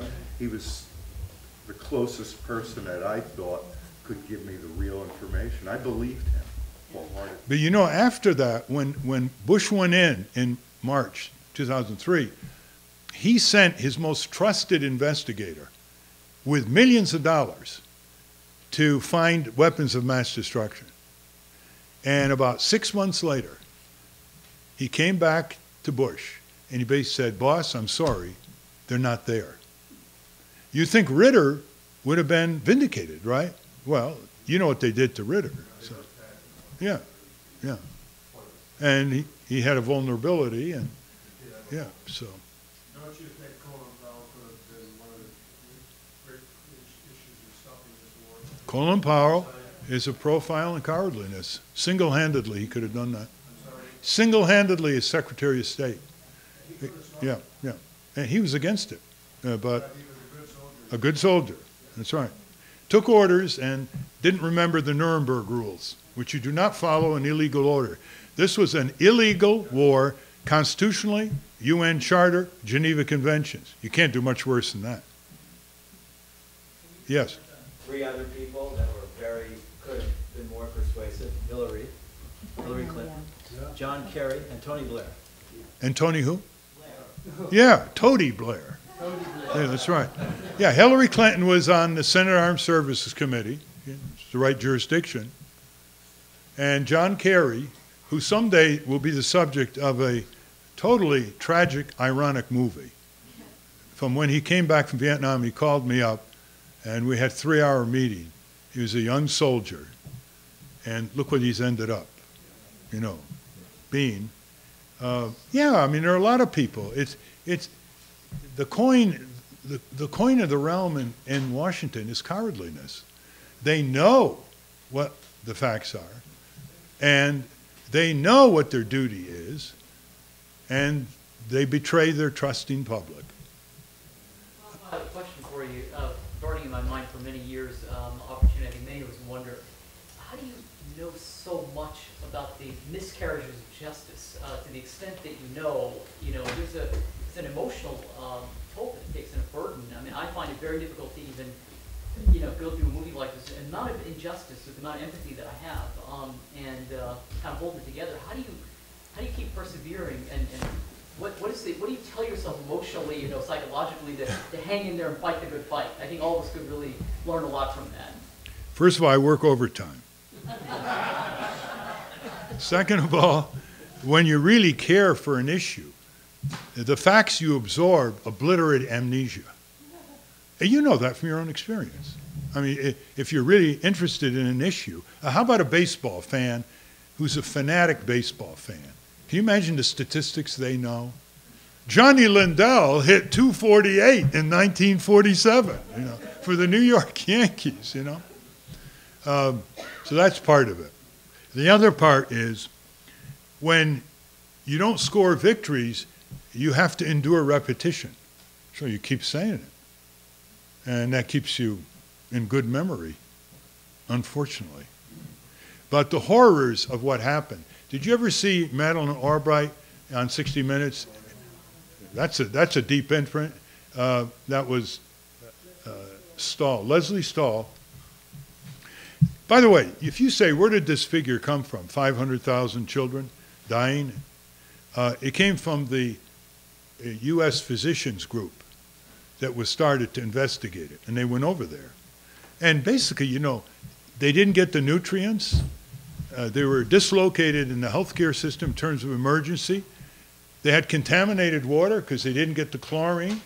We deliberately bombed their civilian infrastructure of electricity and drinking water. You want a, want a worse war crime? Barbara Rizik's book, Swimming Up the Tigris, was about the ten years of sanctions. And she said it took the Iraqis about five years to understand that the US was really their enemy. They could not believe what was happening. This is Up the Tigris? Swimming Up the Tigris. Swimming Up the Barbara Tigris by Rizik, Barbara- R-I-Z-K. By Barbara Rizik, R-I-Z-K. She just lived there and reported, traveled extensively among the people. You see, the whole thing is you live a life of myths or you live a life of reality. The reason why Chomsky irritates this, the establishment like you can't believe is because he talks about the facts, historical and contemporary. And when they attack him, they almost never attack him on the facts. They say he's anti-American. He's a blame America first guy. You see the evasions of the issue. And you know, we're told about myths. We think that they're relatively few. It's not. World views are myths of what's going on. Myths. And look what we've got for it, right? We've metastasized Al Qaeda. We can't even count the offshoot groups. We can't even count the, where, the regions of the world now. They're everywhere. You know, we have fought stateless terrorism by increasing it immensely. And now you have ISIS. And the question is, with $70 billion a year of intelligence budgets and all these various groups, NSA, CIA, State Department, Defense Department, how did they miss the emergence of ISIS? Or did they miss the emergence of ISIS? I mean, it's not exactly a secret. When you're recruiting over half the world, you're mobilizing, you're training, you got satellites everywhere. We got satellites everywhere. How do they miss that? How do they miss the collecting of weapons? Now they're using our weapons, by the way, you know. And, and now, of course, is huge exaggeration of ISIS. I mean, ISIS does not have an air force, doesn't have a navy, doesn't really have armed mechanized equipment. It's way overstretched. Its supply lines are very weak, and it's alienating the local people, even their fellow Sunnis. They're so brutal. Unlike the Viet Cong and the Vietnamese rebels, who really went to work providing services in the villages and so on, they're doing just the opposite. They're not going to last other than the horrific daily suicide bombers that, that's been going on all, for years now in Baghdad, in Erbil, in you know Mosul, 38 here, 42 there. We just had this marathon bombing. It took what two, three lives. The country went nuts. I mean, it, it was it was the, the, the major news. Never mind hundreds of other people dying every day from preventable causes due to commercial profit priorities. We are extremely vulnerable.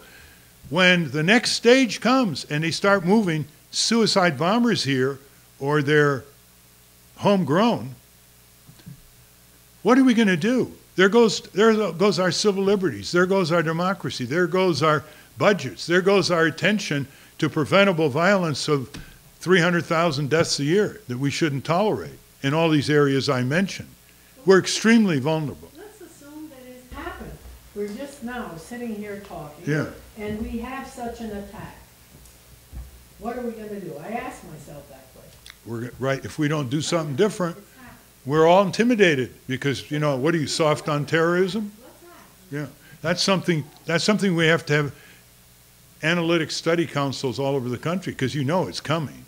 The military is undergoing right now in the US the biggest land grab expansion. I mean, we call it an occupation by the US military. We're fighting every day, you know, ninety-four thousand acres in Rocky, Colorado, seven hundred thousand acres of blue airspace in Utah. Can you all hear that?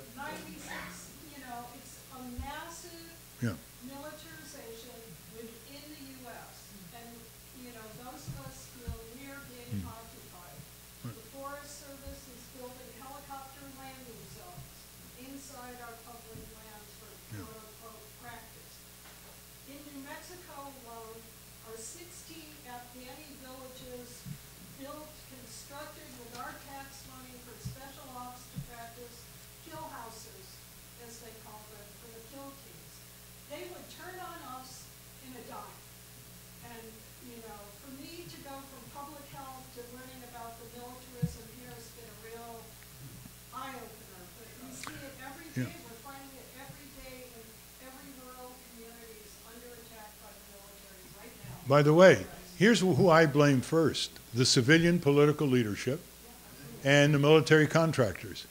The military does not like to get into quagmires. It's just an unpleasant way. They'd rather just go through the day sitting at their appointed places. Uh, it's dirty, bloody, vicious, cruel work, and they'd rather not do it. But once you get them in, they want to win. They want the latest military weapons. And they begin pushing the envelope. It starts with the combination of Congress, some of the right wing neocon think tanks, and the voracious, unlimited appetite of the military contracting companies. We would be much better if we nationalized them, got rid of them all during the recession when their stock was down. We should have just bought them out completely. Uncle Sam acquisition. And then we wouldn't have had that propulsive profit in order to increase executive compensation and et cetera. But that isn't even discussed, right? I mean, you can't even, James, Kenneth, Ken Galbraith recommended that. He said, look, 99% of their business is government contracts. What are we doing here? Why are we going through this charade? Senator uh, Admiral Rickover had the same thing. He said there, sh there should be substantial uh, government military contractors, if only to be used as a restraint and yardstick against the reckless ways of the private contractors. Yes? Quite often, the war machine's paradigm on military action, particularly in the Middle East, Yeah. is that chaos is good, destruction is good, because it's also going to bring about another economic, uh, positive economic situation. Uh, that's, I'm uh, trying not to be fearful of anything. That is a concern to me. Yeah, that's true. Uh, it's true, you know, within limits. Uh, You know, we don't know that much about what pushes these guys in the Pentagon every day. Uh, I try to find out because I do mix it up with them in the seminars. Uh, but I've come to the conclusion it's people like Bush and Cheney and Rumsfeld and Wolfowitz and you know, Feith and so forth. And these guys are relentless. They're still getting op-eds. They're war criminals. They're still getting op-eds in the New York Times and the Washington Post and getting on TV. And they were wrong, and they were proven wrong. And there was huge bloodshed, and they still get 20 times more than the peace advocates. Ramsey Clark, when was the last time you saw him on TV? When was the last time you saw uh, Bill Moyers have uh, Chomsky on, even the best programs? It's, uh, it's atrocious. I want to make that point in a different way, but let's, yes. Before the second video, you asked us to think about how um, we convert that factual information into emotional intelligence. Yeah. Right? And I was thinking about that during the, this second video, and and why is it when people know the facts and know how corrupt things are, know it was done in our name, why no action's being taken? And, and I, I think it's two things. Um, like your thoughts on it. One is this sense of hopelessness and apathy, like there's just nothing I can do, and they're just going to do whatever they want anyways. And the second, we've entered this era now of you know digital heroin, where I can just turn on my Xbox, turn on my Netflix, and just consume something that's going to numb me out, and I'm not going to have to worry about it. Electronic cocaine. Exactly. Yeah. Uh, we're still uh, missing the main point, I think, with, uh, unfortunately. All we need is 1%. Let's say you're right for 99%. You have 3 million people really organized. That's what they do in their life, beside their job. Uh, maybe 300,000 of them are full-time ci- civic advocates, linked. I mean, why don't we have one-tenth of the organizational level as any corporation? You know, a lot of it's just organization. I remember when I was a kid, my dad asked us around the table, he said, what's the most powerful force in the world? Say, uh, uh, religion. We'd say, uh, you know, government, whatever. He said, no, it's apathy. Apathy allows the worst things to happen in the world. And it's what, what uh, Edmund Burke said. Enough good, good men, as he said it, do nothing, you know, allows a lot of evil.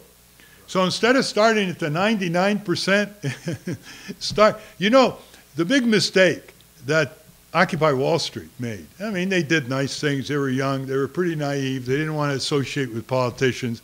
They didn't want to have leaders. They didn't want to recognize leadership. They didn't want to raise money to perpetuate themselves.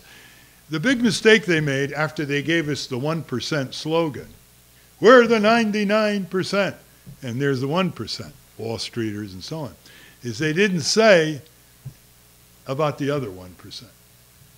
Give me the 1%, and we'll take care of the Wall Street 1%. First of all, because they have no principles and they're very opportunistic, and once they lay the law down to them, they'll adjust. Once they know they can't pay, pay their, buy their way out, they will adjust. And just like the auto companies, they learned how to make a profit from airbags and seatbelts. But they've got to realize that the movement to hold them accountable is no nonsense. It's not going to be co-opted, undermined, or bought off. Once they reach that threshold, you'll see a remarkable scaling down and adjustment. You'll see some now fossil fuel companies buying up solar companies. They, they see the writing on the wall. By the way, the Koch brothers are pouring money into Southern legislators. This is fun. They're pouring, pouring money into Southern le- to a push for a tax surcharge on solar panels. So they're oil and gas interest, right? And guess what? They're losing because there's no such thing as a Republican or a Democratic solar panel. These guys want jobs in their local communities. They want they want their the homes to be put solar on. They have made it illegal to go off the grid in Florida. Yeah, they're yes, but that's not going to last long. That's not. You got the Goldwater son is is is one lobbyist against that. That's that's a huh? Yeah, that's not going to last. But they're losing in more more states than they're winning. And as the solar industry gets more powerful, look at the the medical device industry is about to get rid of the three percent sales tax to help pay for Obamacare. Um, even though they are tremendously subsidized by the taxpayer. Most of the medical devices of importance have roots in government R&D, and they get tax credits for doing R&D in their own companies. You pay them to do something they're supposed to be doing anyway, and they still don't want to pay uh, the sales tax, and they got Senator Franken and Senator Elizabeth Warren on their side. Do you know that? Because you have uh, medical device companies in Massachusetts and, and, and Minnesota. Uh, so the solar industry is going to start being heavyweight, and, and they'll, they'll be able to deal with that. It's unstoppable. The solar industry has had a lot of false starts in the last century. Uh, one of them, by the way, was uh, Henry Ford the first.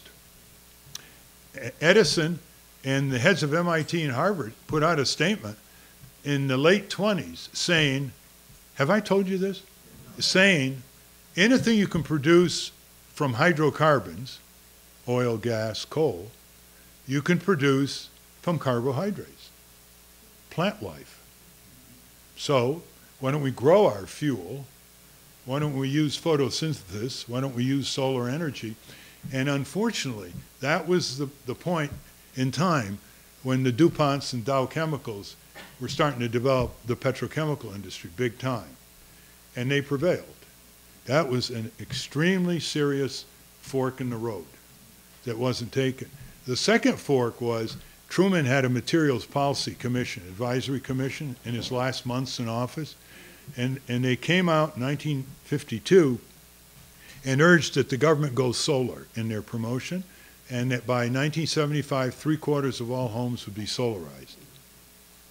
And two years later, Eisenhower instituted the Atoms for Peace program, and they went nuclear. So another pork and road. But you see, there was no mobilized citizens behind those two forays. Too cheap to meter, yeah. You know, we are lied on so often that, that we, we don't even know it anymore. I remember the cable industry muscled its way uh, forward by saying it's pay TV, folks, and you won't have to see advertisements. Have you seen advertisements on cable TV? How about this one? Public radio and public broadcasting. We need advertising-free radio and TV. Every 10 minutes. WPXR, support comes from, I mean, it's maddening. How many times they, they give these 15 second and 30 second commercials? Why, why, We're your retirement company. By what? That's, a na- that's a, a, a, a Blair sponsor, uh, the life insurance company. Yeah, well, it's not just the life insurance, so. oh, I was thinking of putting an ad on, on public radio anonymously saying, um, Anonymous says, get rid of these ads in terms of their names, right? Now, I just want to make uh, the point that comes out of this. We own the public airways. Uh, the companies control them. Uh, they don't pay rent. We're the landlords. We're the, they're the tenants. We don't pay rent. It's like we own the Mississippi River, but do we lease it free to exclusive portions on the banks to private companies? No, we haven't gone that far yet, have we? The Mississippi River is the commons. We haven't parceled it out. But we have parceled out the public airways. When Herbert Hoover, Hoover was Secretary of Commerce, he said the new radio technology should be a public trust and not have any commercial stations. This is Herbert Hoover. See how far we've come? So here, here's, here, I want to make a proposal. How many of you have watched recently ABC, NBC, CBS, and Fox on Saturday afternoon?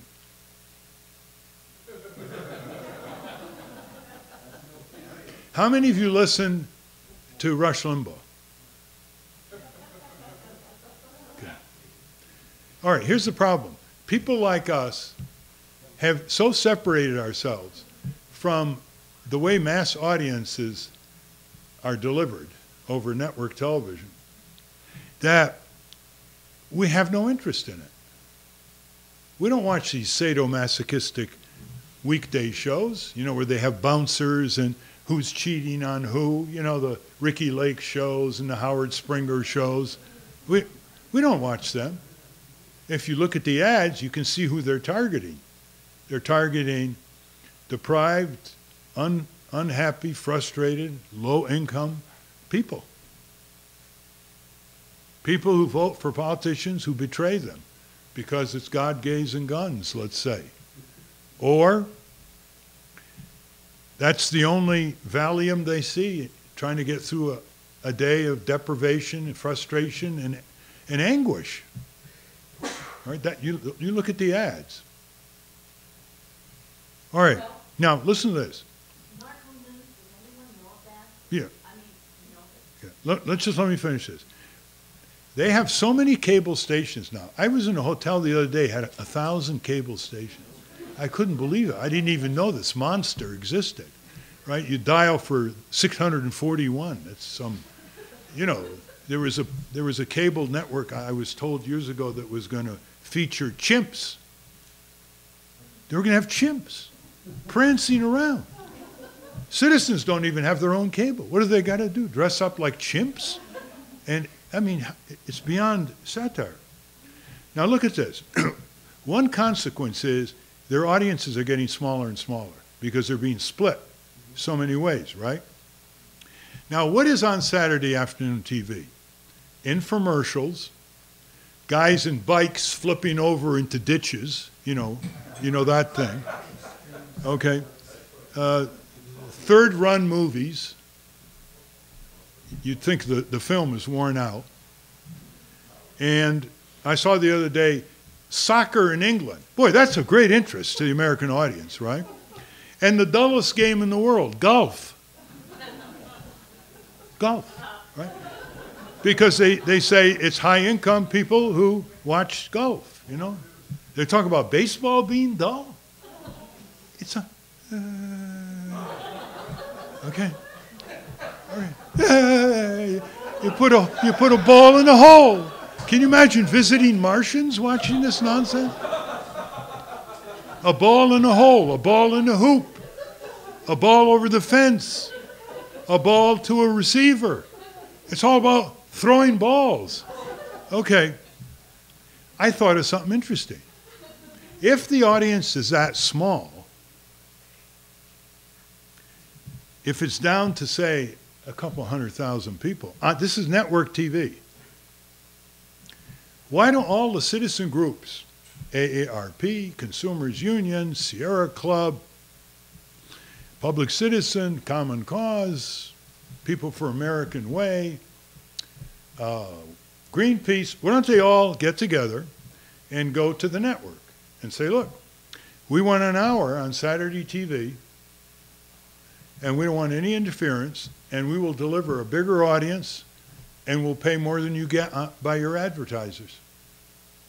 And we'll have a one hour, one hour magnet to bring more and more people into citizen training, into civic skills, well done, well produced, not dull, into examples of what people are doing in Massachusetts that people should be doing around the country or vice versa. Why reinvent the wheel?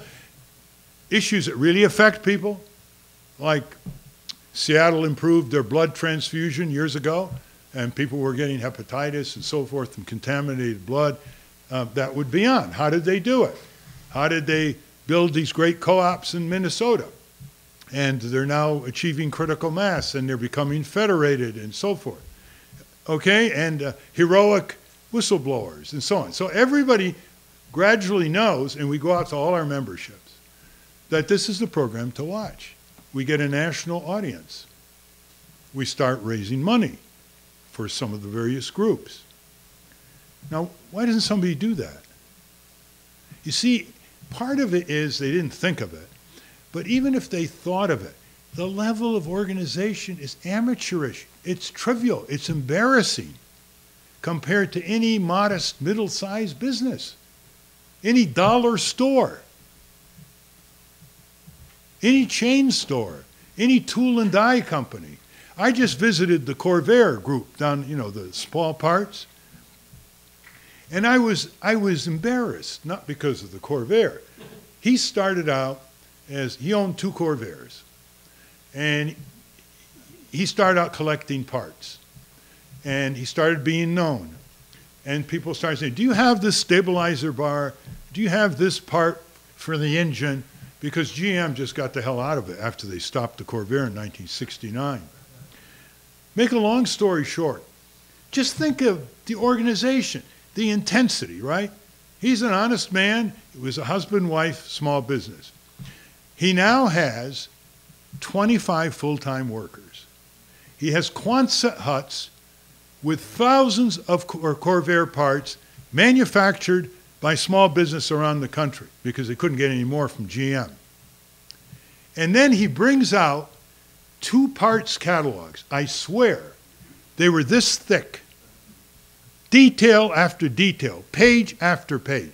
One model car, station wagon, Monza, you know, I mean, basically one category of car.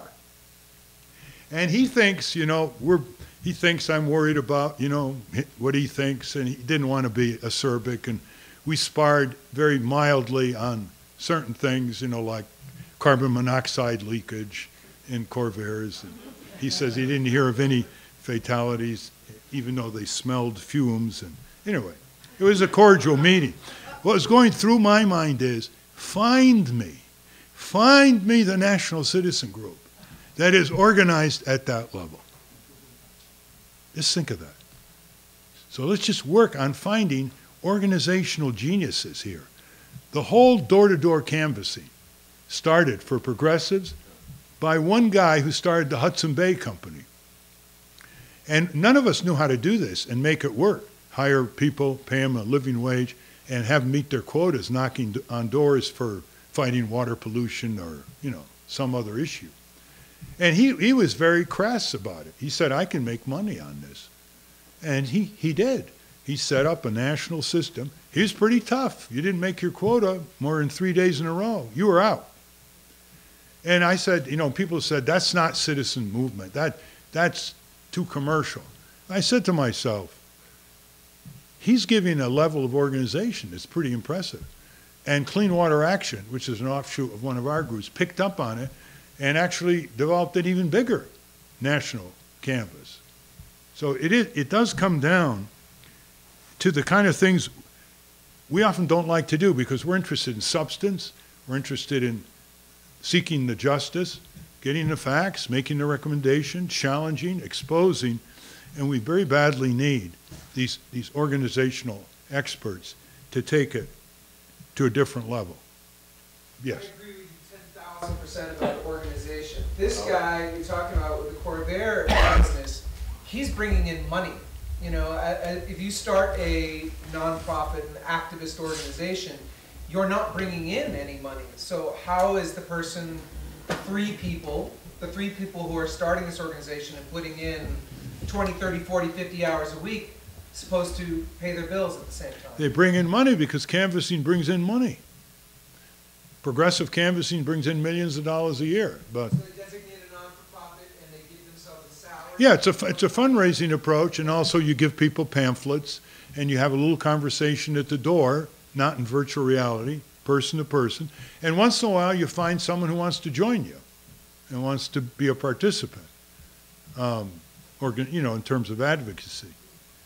Uh, sometimes they're a little too brass knuckles, you know, they're on quotas and all that, but, you know, they want to keep going, and, and uh, so they make the, the decision. Um, however, none of them really are getting super rich who are running these canvases, obviously. Uh, but that's one of the success stories, let's say, of superior uh, organization. All right, now, before we go to lunch or dinner, where is this? Okay, here's an idea I thought of. Let me, let me see how you react to this. How many of you have uh, paid alumni dues for colleges and universities? Okay, and, and you've contributed, right? So we all know that. That's an established tradition. So it occurred to me, I'm going to put this up on the bulletin board wherever it is, along with this, you know, the insert. It occurred to me that why not have birth year gifts to America? Why not take the birth year of 1928, led by a few in, initiators, and reach as many Americans as possible who were born in that year, and they want to make an, a lasting legacy gift to their beloved country so that it can be handed over in better shape to their descendants. Okay? It makes sense. It's a new affinity group. And, you know, if you, somebody just came up to me earlier and said, you know, we were born two weeks apart. This, you know, it strikes a chord. Who was that? Yeah, it strikes a chord. We were born in 1934. So I developed an ad, and it says, Ralph Nader proposes a new American tradition, birth year gifts to America. Americans born in each of these birth years can together fund their own legacy gift to lift our country's future. Then I list, I started in 1924 and went to 1944. So we have people who are 90 down to people who are 70.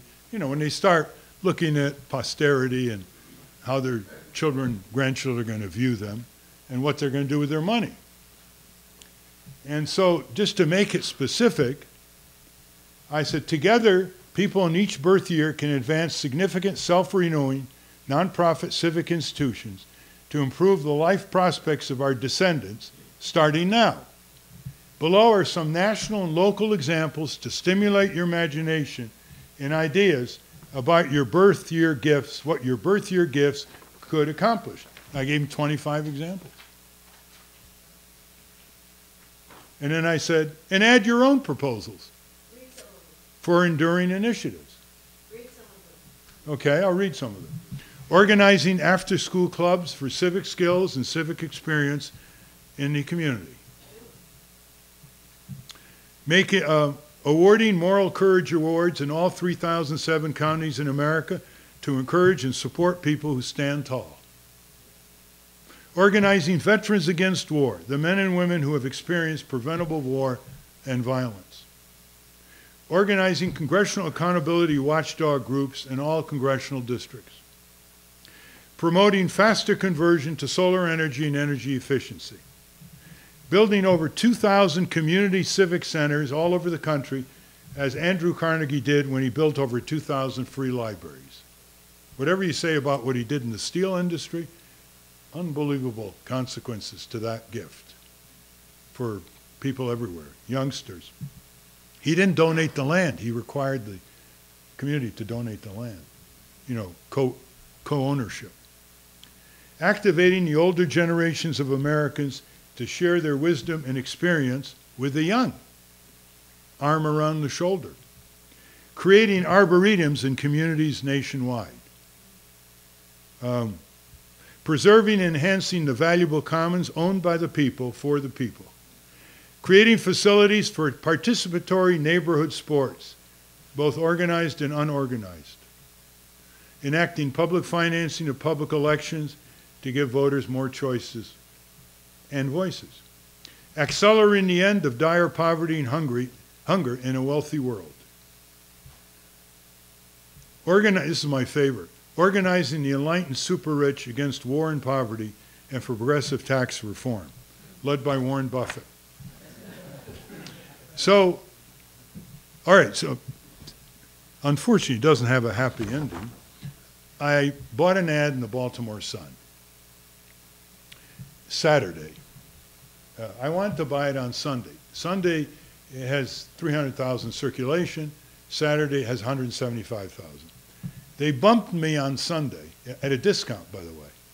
They bumped me on Sunday, and in return, they told me I could have a free ad on Saturday.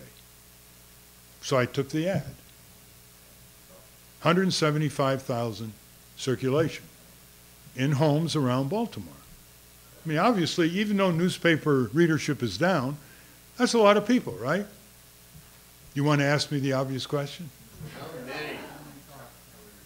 I got one response. And here, and here is the response. Here is the response. It was a fairly wealthy person not super, but I mean, he's well to do. He says he wanted a, to reform America by enacting, don't laugh now, by enacting the Ten Commandments as amendments to the Constitution. Well, thou shalt not kill, that's not bad, right? I mean, okay. That's all I got. Now, we had an email, we had an email contact. No, sorry. Yes, we had info at nader.org and the P.O. Box. We got zero at the P.O. Box and one at info at nader.org. You know, most people wouldn't tell you the final disposition, right? It did. It was in the paper. We, we got people to buy it in suburban Maryland. And I asked that question. and, and it went out. Now, part of it is that most people don't read the newspaper. You know, they just flip through it, few headlines. But you know where they put this? In the best spot imaginable. They put it opposite the editorial page and the cartoon. They put it in the best spot. And of course, it was much bigger. You know, it was bigger than this. Now, am I entitled to be discouraged? Hell no. I'm fighting mad for this idea. So I, I'm, I'm dickering with the New York Times. Apparently, they, they have holes in papers at the last minute, and they give it to you very cheap. New York Times ad goes for 120 grand, 100 grand, 80 grand, but at the last minute, you can get it down for as low as 10. As long as it isn't commercial, as long as it doesn't have a fundraising coupon, and as long as it isn't political. Well, okay, this doesn't have a fundraising coupon, it's not commercial, and certainly it's not political, it's civic. Then I'm going to try other ways, and I, I solicit your ideas. Well, I think you only got one response, Yeah. because you didn't require that people clip and send three Rice Krispies box tops. Then I would have had to pay. Okay? And I'm not sure that would have done it, but it would be good to have a controlled study. right? Now, first of all, how many of you, don't you think this is a good idea? I mean, it's, it's, it's, it's great. It binds people together. It's, it's a little exciting. And by the way, between 70 and 90, you got a lot of well-to-do people. And a lot of them, you know, might leave their money to spoil their great-grandchildren. You know, the old idea, shirt sleeves to shirt sleeves in three generations. People in genealogy would like it, I mean. People what? Who are looking at genealogy. People who are looking at Gina, any other ideas? A Would be different, interested. a different Well, I layout. mean, would be interested in that. Okay.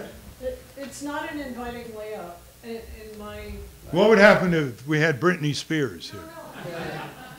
a Lady bigger headline Yeah, that someone couldn't miss and, right.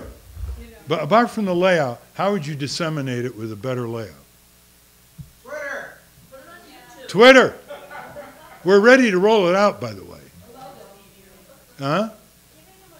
You see all the time, they, they let you check off which one of those you want to give to. Oh, that's not a bad idea. Like, like a poll. Oh, that's a good idea. That's right. Oh, that's a good idea. Go ahead, yeah? Who are you aiming at? Huh? I, I, I'm, Yeah. people over fifty or might still be reading the paper, I don't read ads. So if it was an article about it on the op-ed Right. section, I'd read it. But I Okay. just, I just blank out on ads, now maybe I'm weird, I, I, I'm weird. No, it- it's interesting. Uh, By the way, it is interesting to know that the Baltimore Sun didn't write an article about it. Because it's kind of a cute idea, right? Yeah. Yeah. And, and sometimes they do. Like you have a, a unique ad in the New York Times and then they'll write an article about it. But it, I would say one out of a hundred where they do that, because they don't like to give their commer, you know, free. Did it have different donor levels? No, you can't add. The, the, the rule, you cannot ask for money Oh. in this ad. Then they'll, they'll charge you top dollar. Yeah. Ralph, who is it aimed at? What birth year? It's aimed at the birth years from That's what I nineteen, mean, the guy wouldn't know. In other words, if it said, were you born in, or if it Yeah. had birth year? yeah. Or is it, and- and something about what's your legacy gonna be? Well, no, it, it indicates, you know, it's not as good as you might think. It could be, but it does indicate which year were you born in. I would have, I- I'd have that big, Okay. because it's, if it's, Okay. if it's my year, I'd say, oh, Yeah. that? That could be, Right. yeah, that could be good. I, I was struggling to give him as many ideas as possible. Uh, I always lean in the wrong direction. Uh, yeah, go ahead. How today's society, people are very capitalized as far as what they see. Yeah. And how even with TV media, they can get attention span in just mere seconds. Yeah, Even though you got a long list, for me, the headline states it, just a couple of examples, and then the bottom, even though, like you said, you have so much more where that can be included, at this location, we can get expanded. so less is more. Well, because too Okay. many selections, big, um, long, Okay. okay. big headline, some good example, and here's where you can get more. Okay, but you, you, you talk, do you really believe this would have gotten more response? Yes, yes. I, I, I think people might have gotten three. nowadays, when they see something big and long, they read the headline and they start and then they tune out Okay. the page. Kickstarter. Uh, it, it needs. Kickstarter? Absolutely. I don't know if it qualifies, does it? No, but you can Yes, raise yeah. the. It does qualify? Yeah. I- I Aren't they, aren't they restricted to a commercial business? Yeah, yeah, they are, but you can use Indiegogo instead of Kickstarter, and you can use Indiegogo instead of Kickstarter, Yeah. they don't have those restrictions. Okay, Indiegogo? Indiegogo, Yeah. Okay. Big among left-leaning. Okay, this is, this is very good. Yeah. How many of you served on juries, by the way? Okay, did you find it a rewarding experience? Yes. It's overwhelmingly the case. And you know, surveys of judges show that a majority of judges agree with the jury's verdict. Here's regular people brought together, no axe to grind, no future ambition. And they can decide, they can produce decisions affecting extremely powerful defendants, not just criminal, street criminals, very powerful defendants. BP, GM, Exxon. That's why they want to kill the jury system. That's why the tort reform movement goes after the jury system. Um, Okay, so how else to, dis- uh, apart from the, apart from the layout, Yeah, make one of the boxes tied into your other thing, and one of the boxes would be, future elections can vote none of the above. Yeah. Yeah. None of the above. Yeah. That's a great. By the way, That's the I, legacy. All these are elaborated in these books that you're getting. See? That These are the covers of my oh, books, okay? Okay, So, apart from the layout, which, you know, how many times can you lay out differently when you're, you know, you can get charged top How do you dollar? want to be remembered? Yeah, something haunting like that? Yeah. A bit too funereal? your way out. All right, I'm serious here. If you can give me on a little piece of paper before we can conclude tomorrow, give me your ideas on how to disseminate it and how it can be better. But the more important thing is how to disseminate it. Repetition. Can you email it to the group? Huh? Can you email it to the assembled group? No. No. Uh, I mean, can you post that so we can see it? Yeah, we're gonna post it. Oh, right. Yeah. Where, where is it being posted? Isn't there a bulletin board? Um, I can get some tape and put it up right here. That would be good. She can put it up. Okay. Right here. Right on the wall. Okay. I see, I bent in the direction of examples, just because it's so new to people, the whole birth year. They said, what are you talking about? And I want to answer that twenty-five times, but I- it was at a price of the visual, the- the graphic. I'd Yes. like to say, you don't really know the impact of what you only know your numbers of how they reacted to you. That's a good point. But you may have hit many people Yeah. and caused them to think deeply about this issue and are going to deal with it Yeah. in their own way. That's an excellent point. We- We really don't know the intangible impact of people who, who didn't go to the next step and contact us. But they're saying, hey, you know, this is, Oh, For your case, you need a sustained campaign. You need to build trust in people over a period of time. Okay. Then they will come around. excellent point. You need a little group to advocate it. Yeah, it You hit the jackpot with three birth years with some wealthy people. What if you get someone like Buffett saying, hey, this isn't bad. I was born in 1928. Uh, you know, I'll put out the word with three of my friends that I play bridge with or whatever. You don't think that's going to get news? It is going to get news. Okay. We're not, th- this is just the beginning. Yes. See? And I, I'm just saying that, imagine putting this to a high school class. Imagine putting it to a college class. Imagine putting this to a gathering of AARP or a senior citizens uh, center that, that's bored out of their wits. Okay? Where you, you, you say, you've got something significant to contribute here. By the way, this is, this isn't only national. These sound like they're national, but it, it could be local. For example, a local arboretum. Arboretum is a great teaching mechanism. So I can see, you know, here in New England, there's plenty of 20, 30, 40 acres. You can do a lot with that. Yes? Um, I was told that for the not-for-profits, it takes six months of visibility and repeated visibility in order for something to happen. That's number one.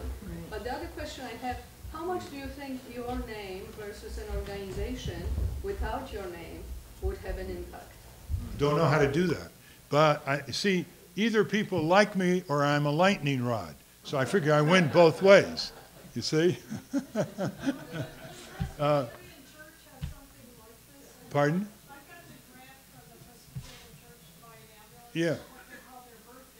Right.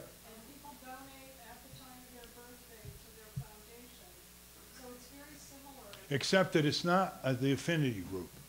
The key is the affinity group. When we started uh, Princeton Project 55, I got tired of going to reunions and they, they want to get us drunk and write checks, you know. I mean, it's so demeaning. Um, they put us in tents and have the band and, I mean, they treat us like children, except when they ask for money. And I, I had a, a meeting with some of my classmates. This is demeaning. They're not respecting the intelligence that they thought Princeton was enhancing when we were there. So lo and behold, we got 25 of our class of 750. Well, by then it was about 600. This is uh, 35th reunion, so it was class in, it was 1990. And we started Princeton Project 55. It's a nonprofit group, and it was designed to place Princeton undergraduates and recent graduates in systemically oriented citizen advocate groups. We very clearly said it was not going to be charity. We were not going to put them in soup kitchens. There's a difference between charity and justice. A society that has more justice needs less charity. And while soup kitchens are very important for people who need them, they don't deal with the prevention.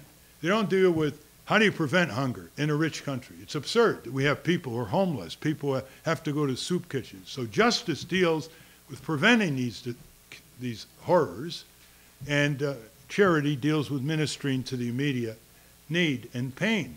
So we went systemic. And as a result, we were the major placers of Princeton students, uh, internships and fellowships, and it changed their lives. They had to think systemically. And we also, uh, after some resistance from the administration, uh, we became a talking point to attract students to come to Princeton. It now has morphed because, you know, our class is getting older. It has morphed into a Princeton Alumni Corps. And it's just what John Gardner, who addressed us the first meeting we had, he said, do not dilute your class. The minute it went to Princeton Alumni Corps, it was spread over a lot of classes, you know. It lost that priceless elan of cohesiveness by people who knew each other when we were 17 and 18 as we entered Princeton. And so that, that's the difference.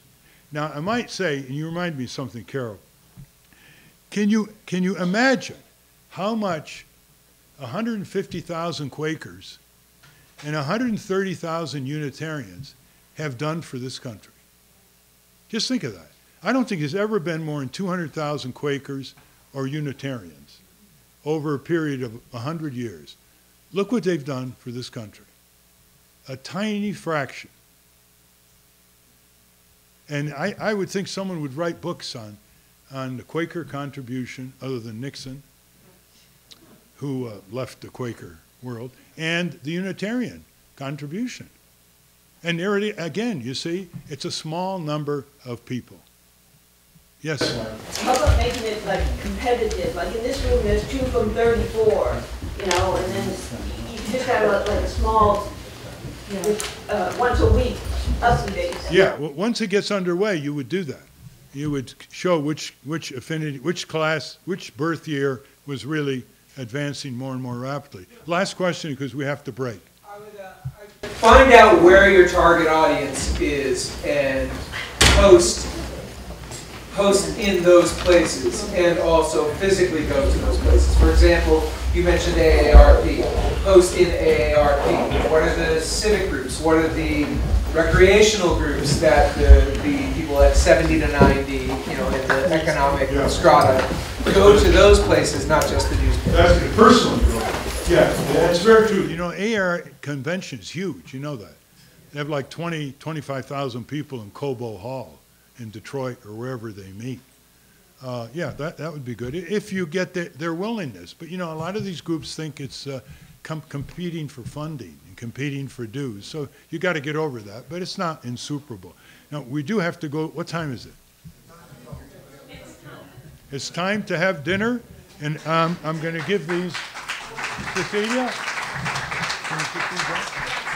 Hard reading's a great teaching mechanism.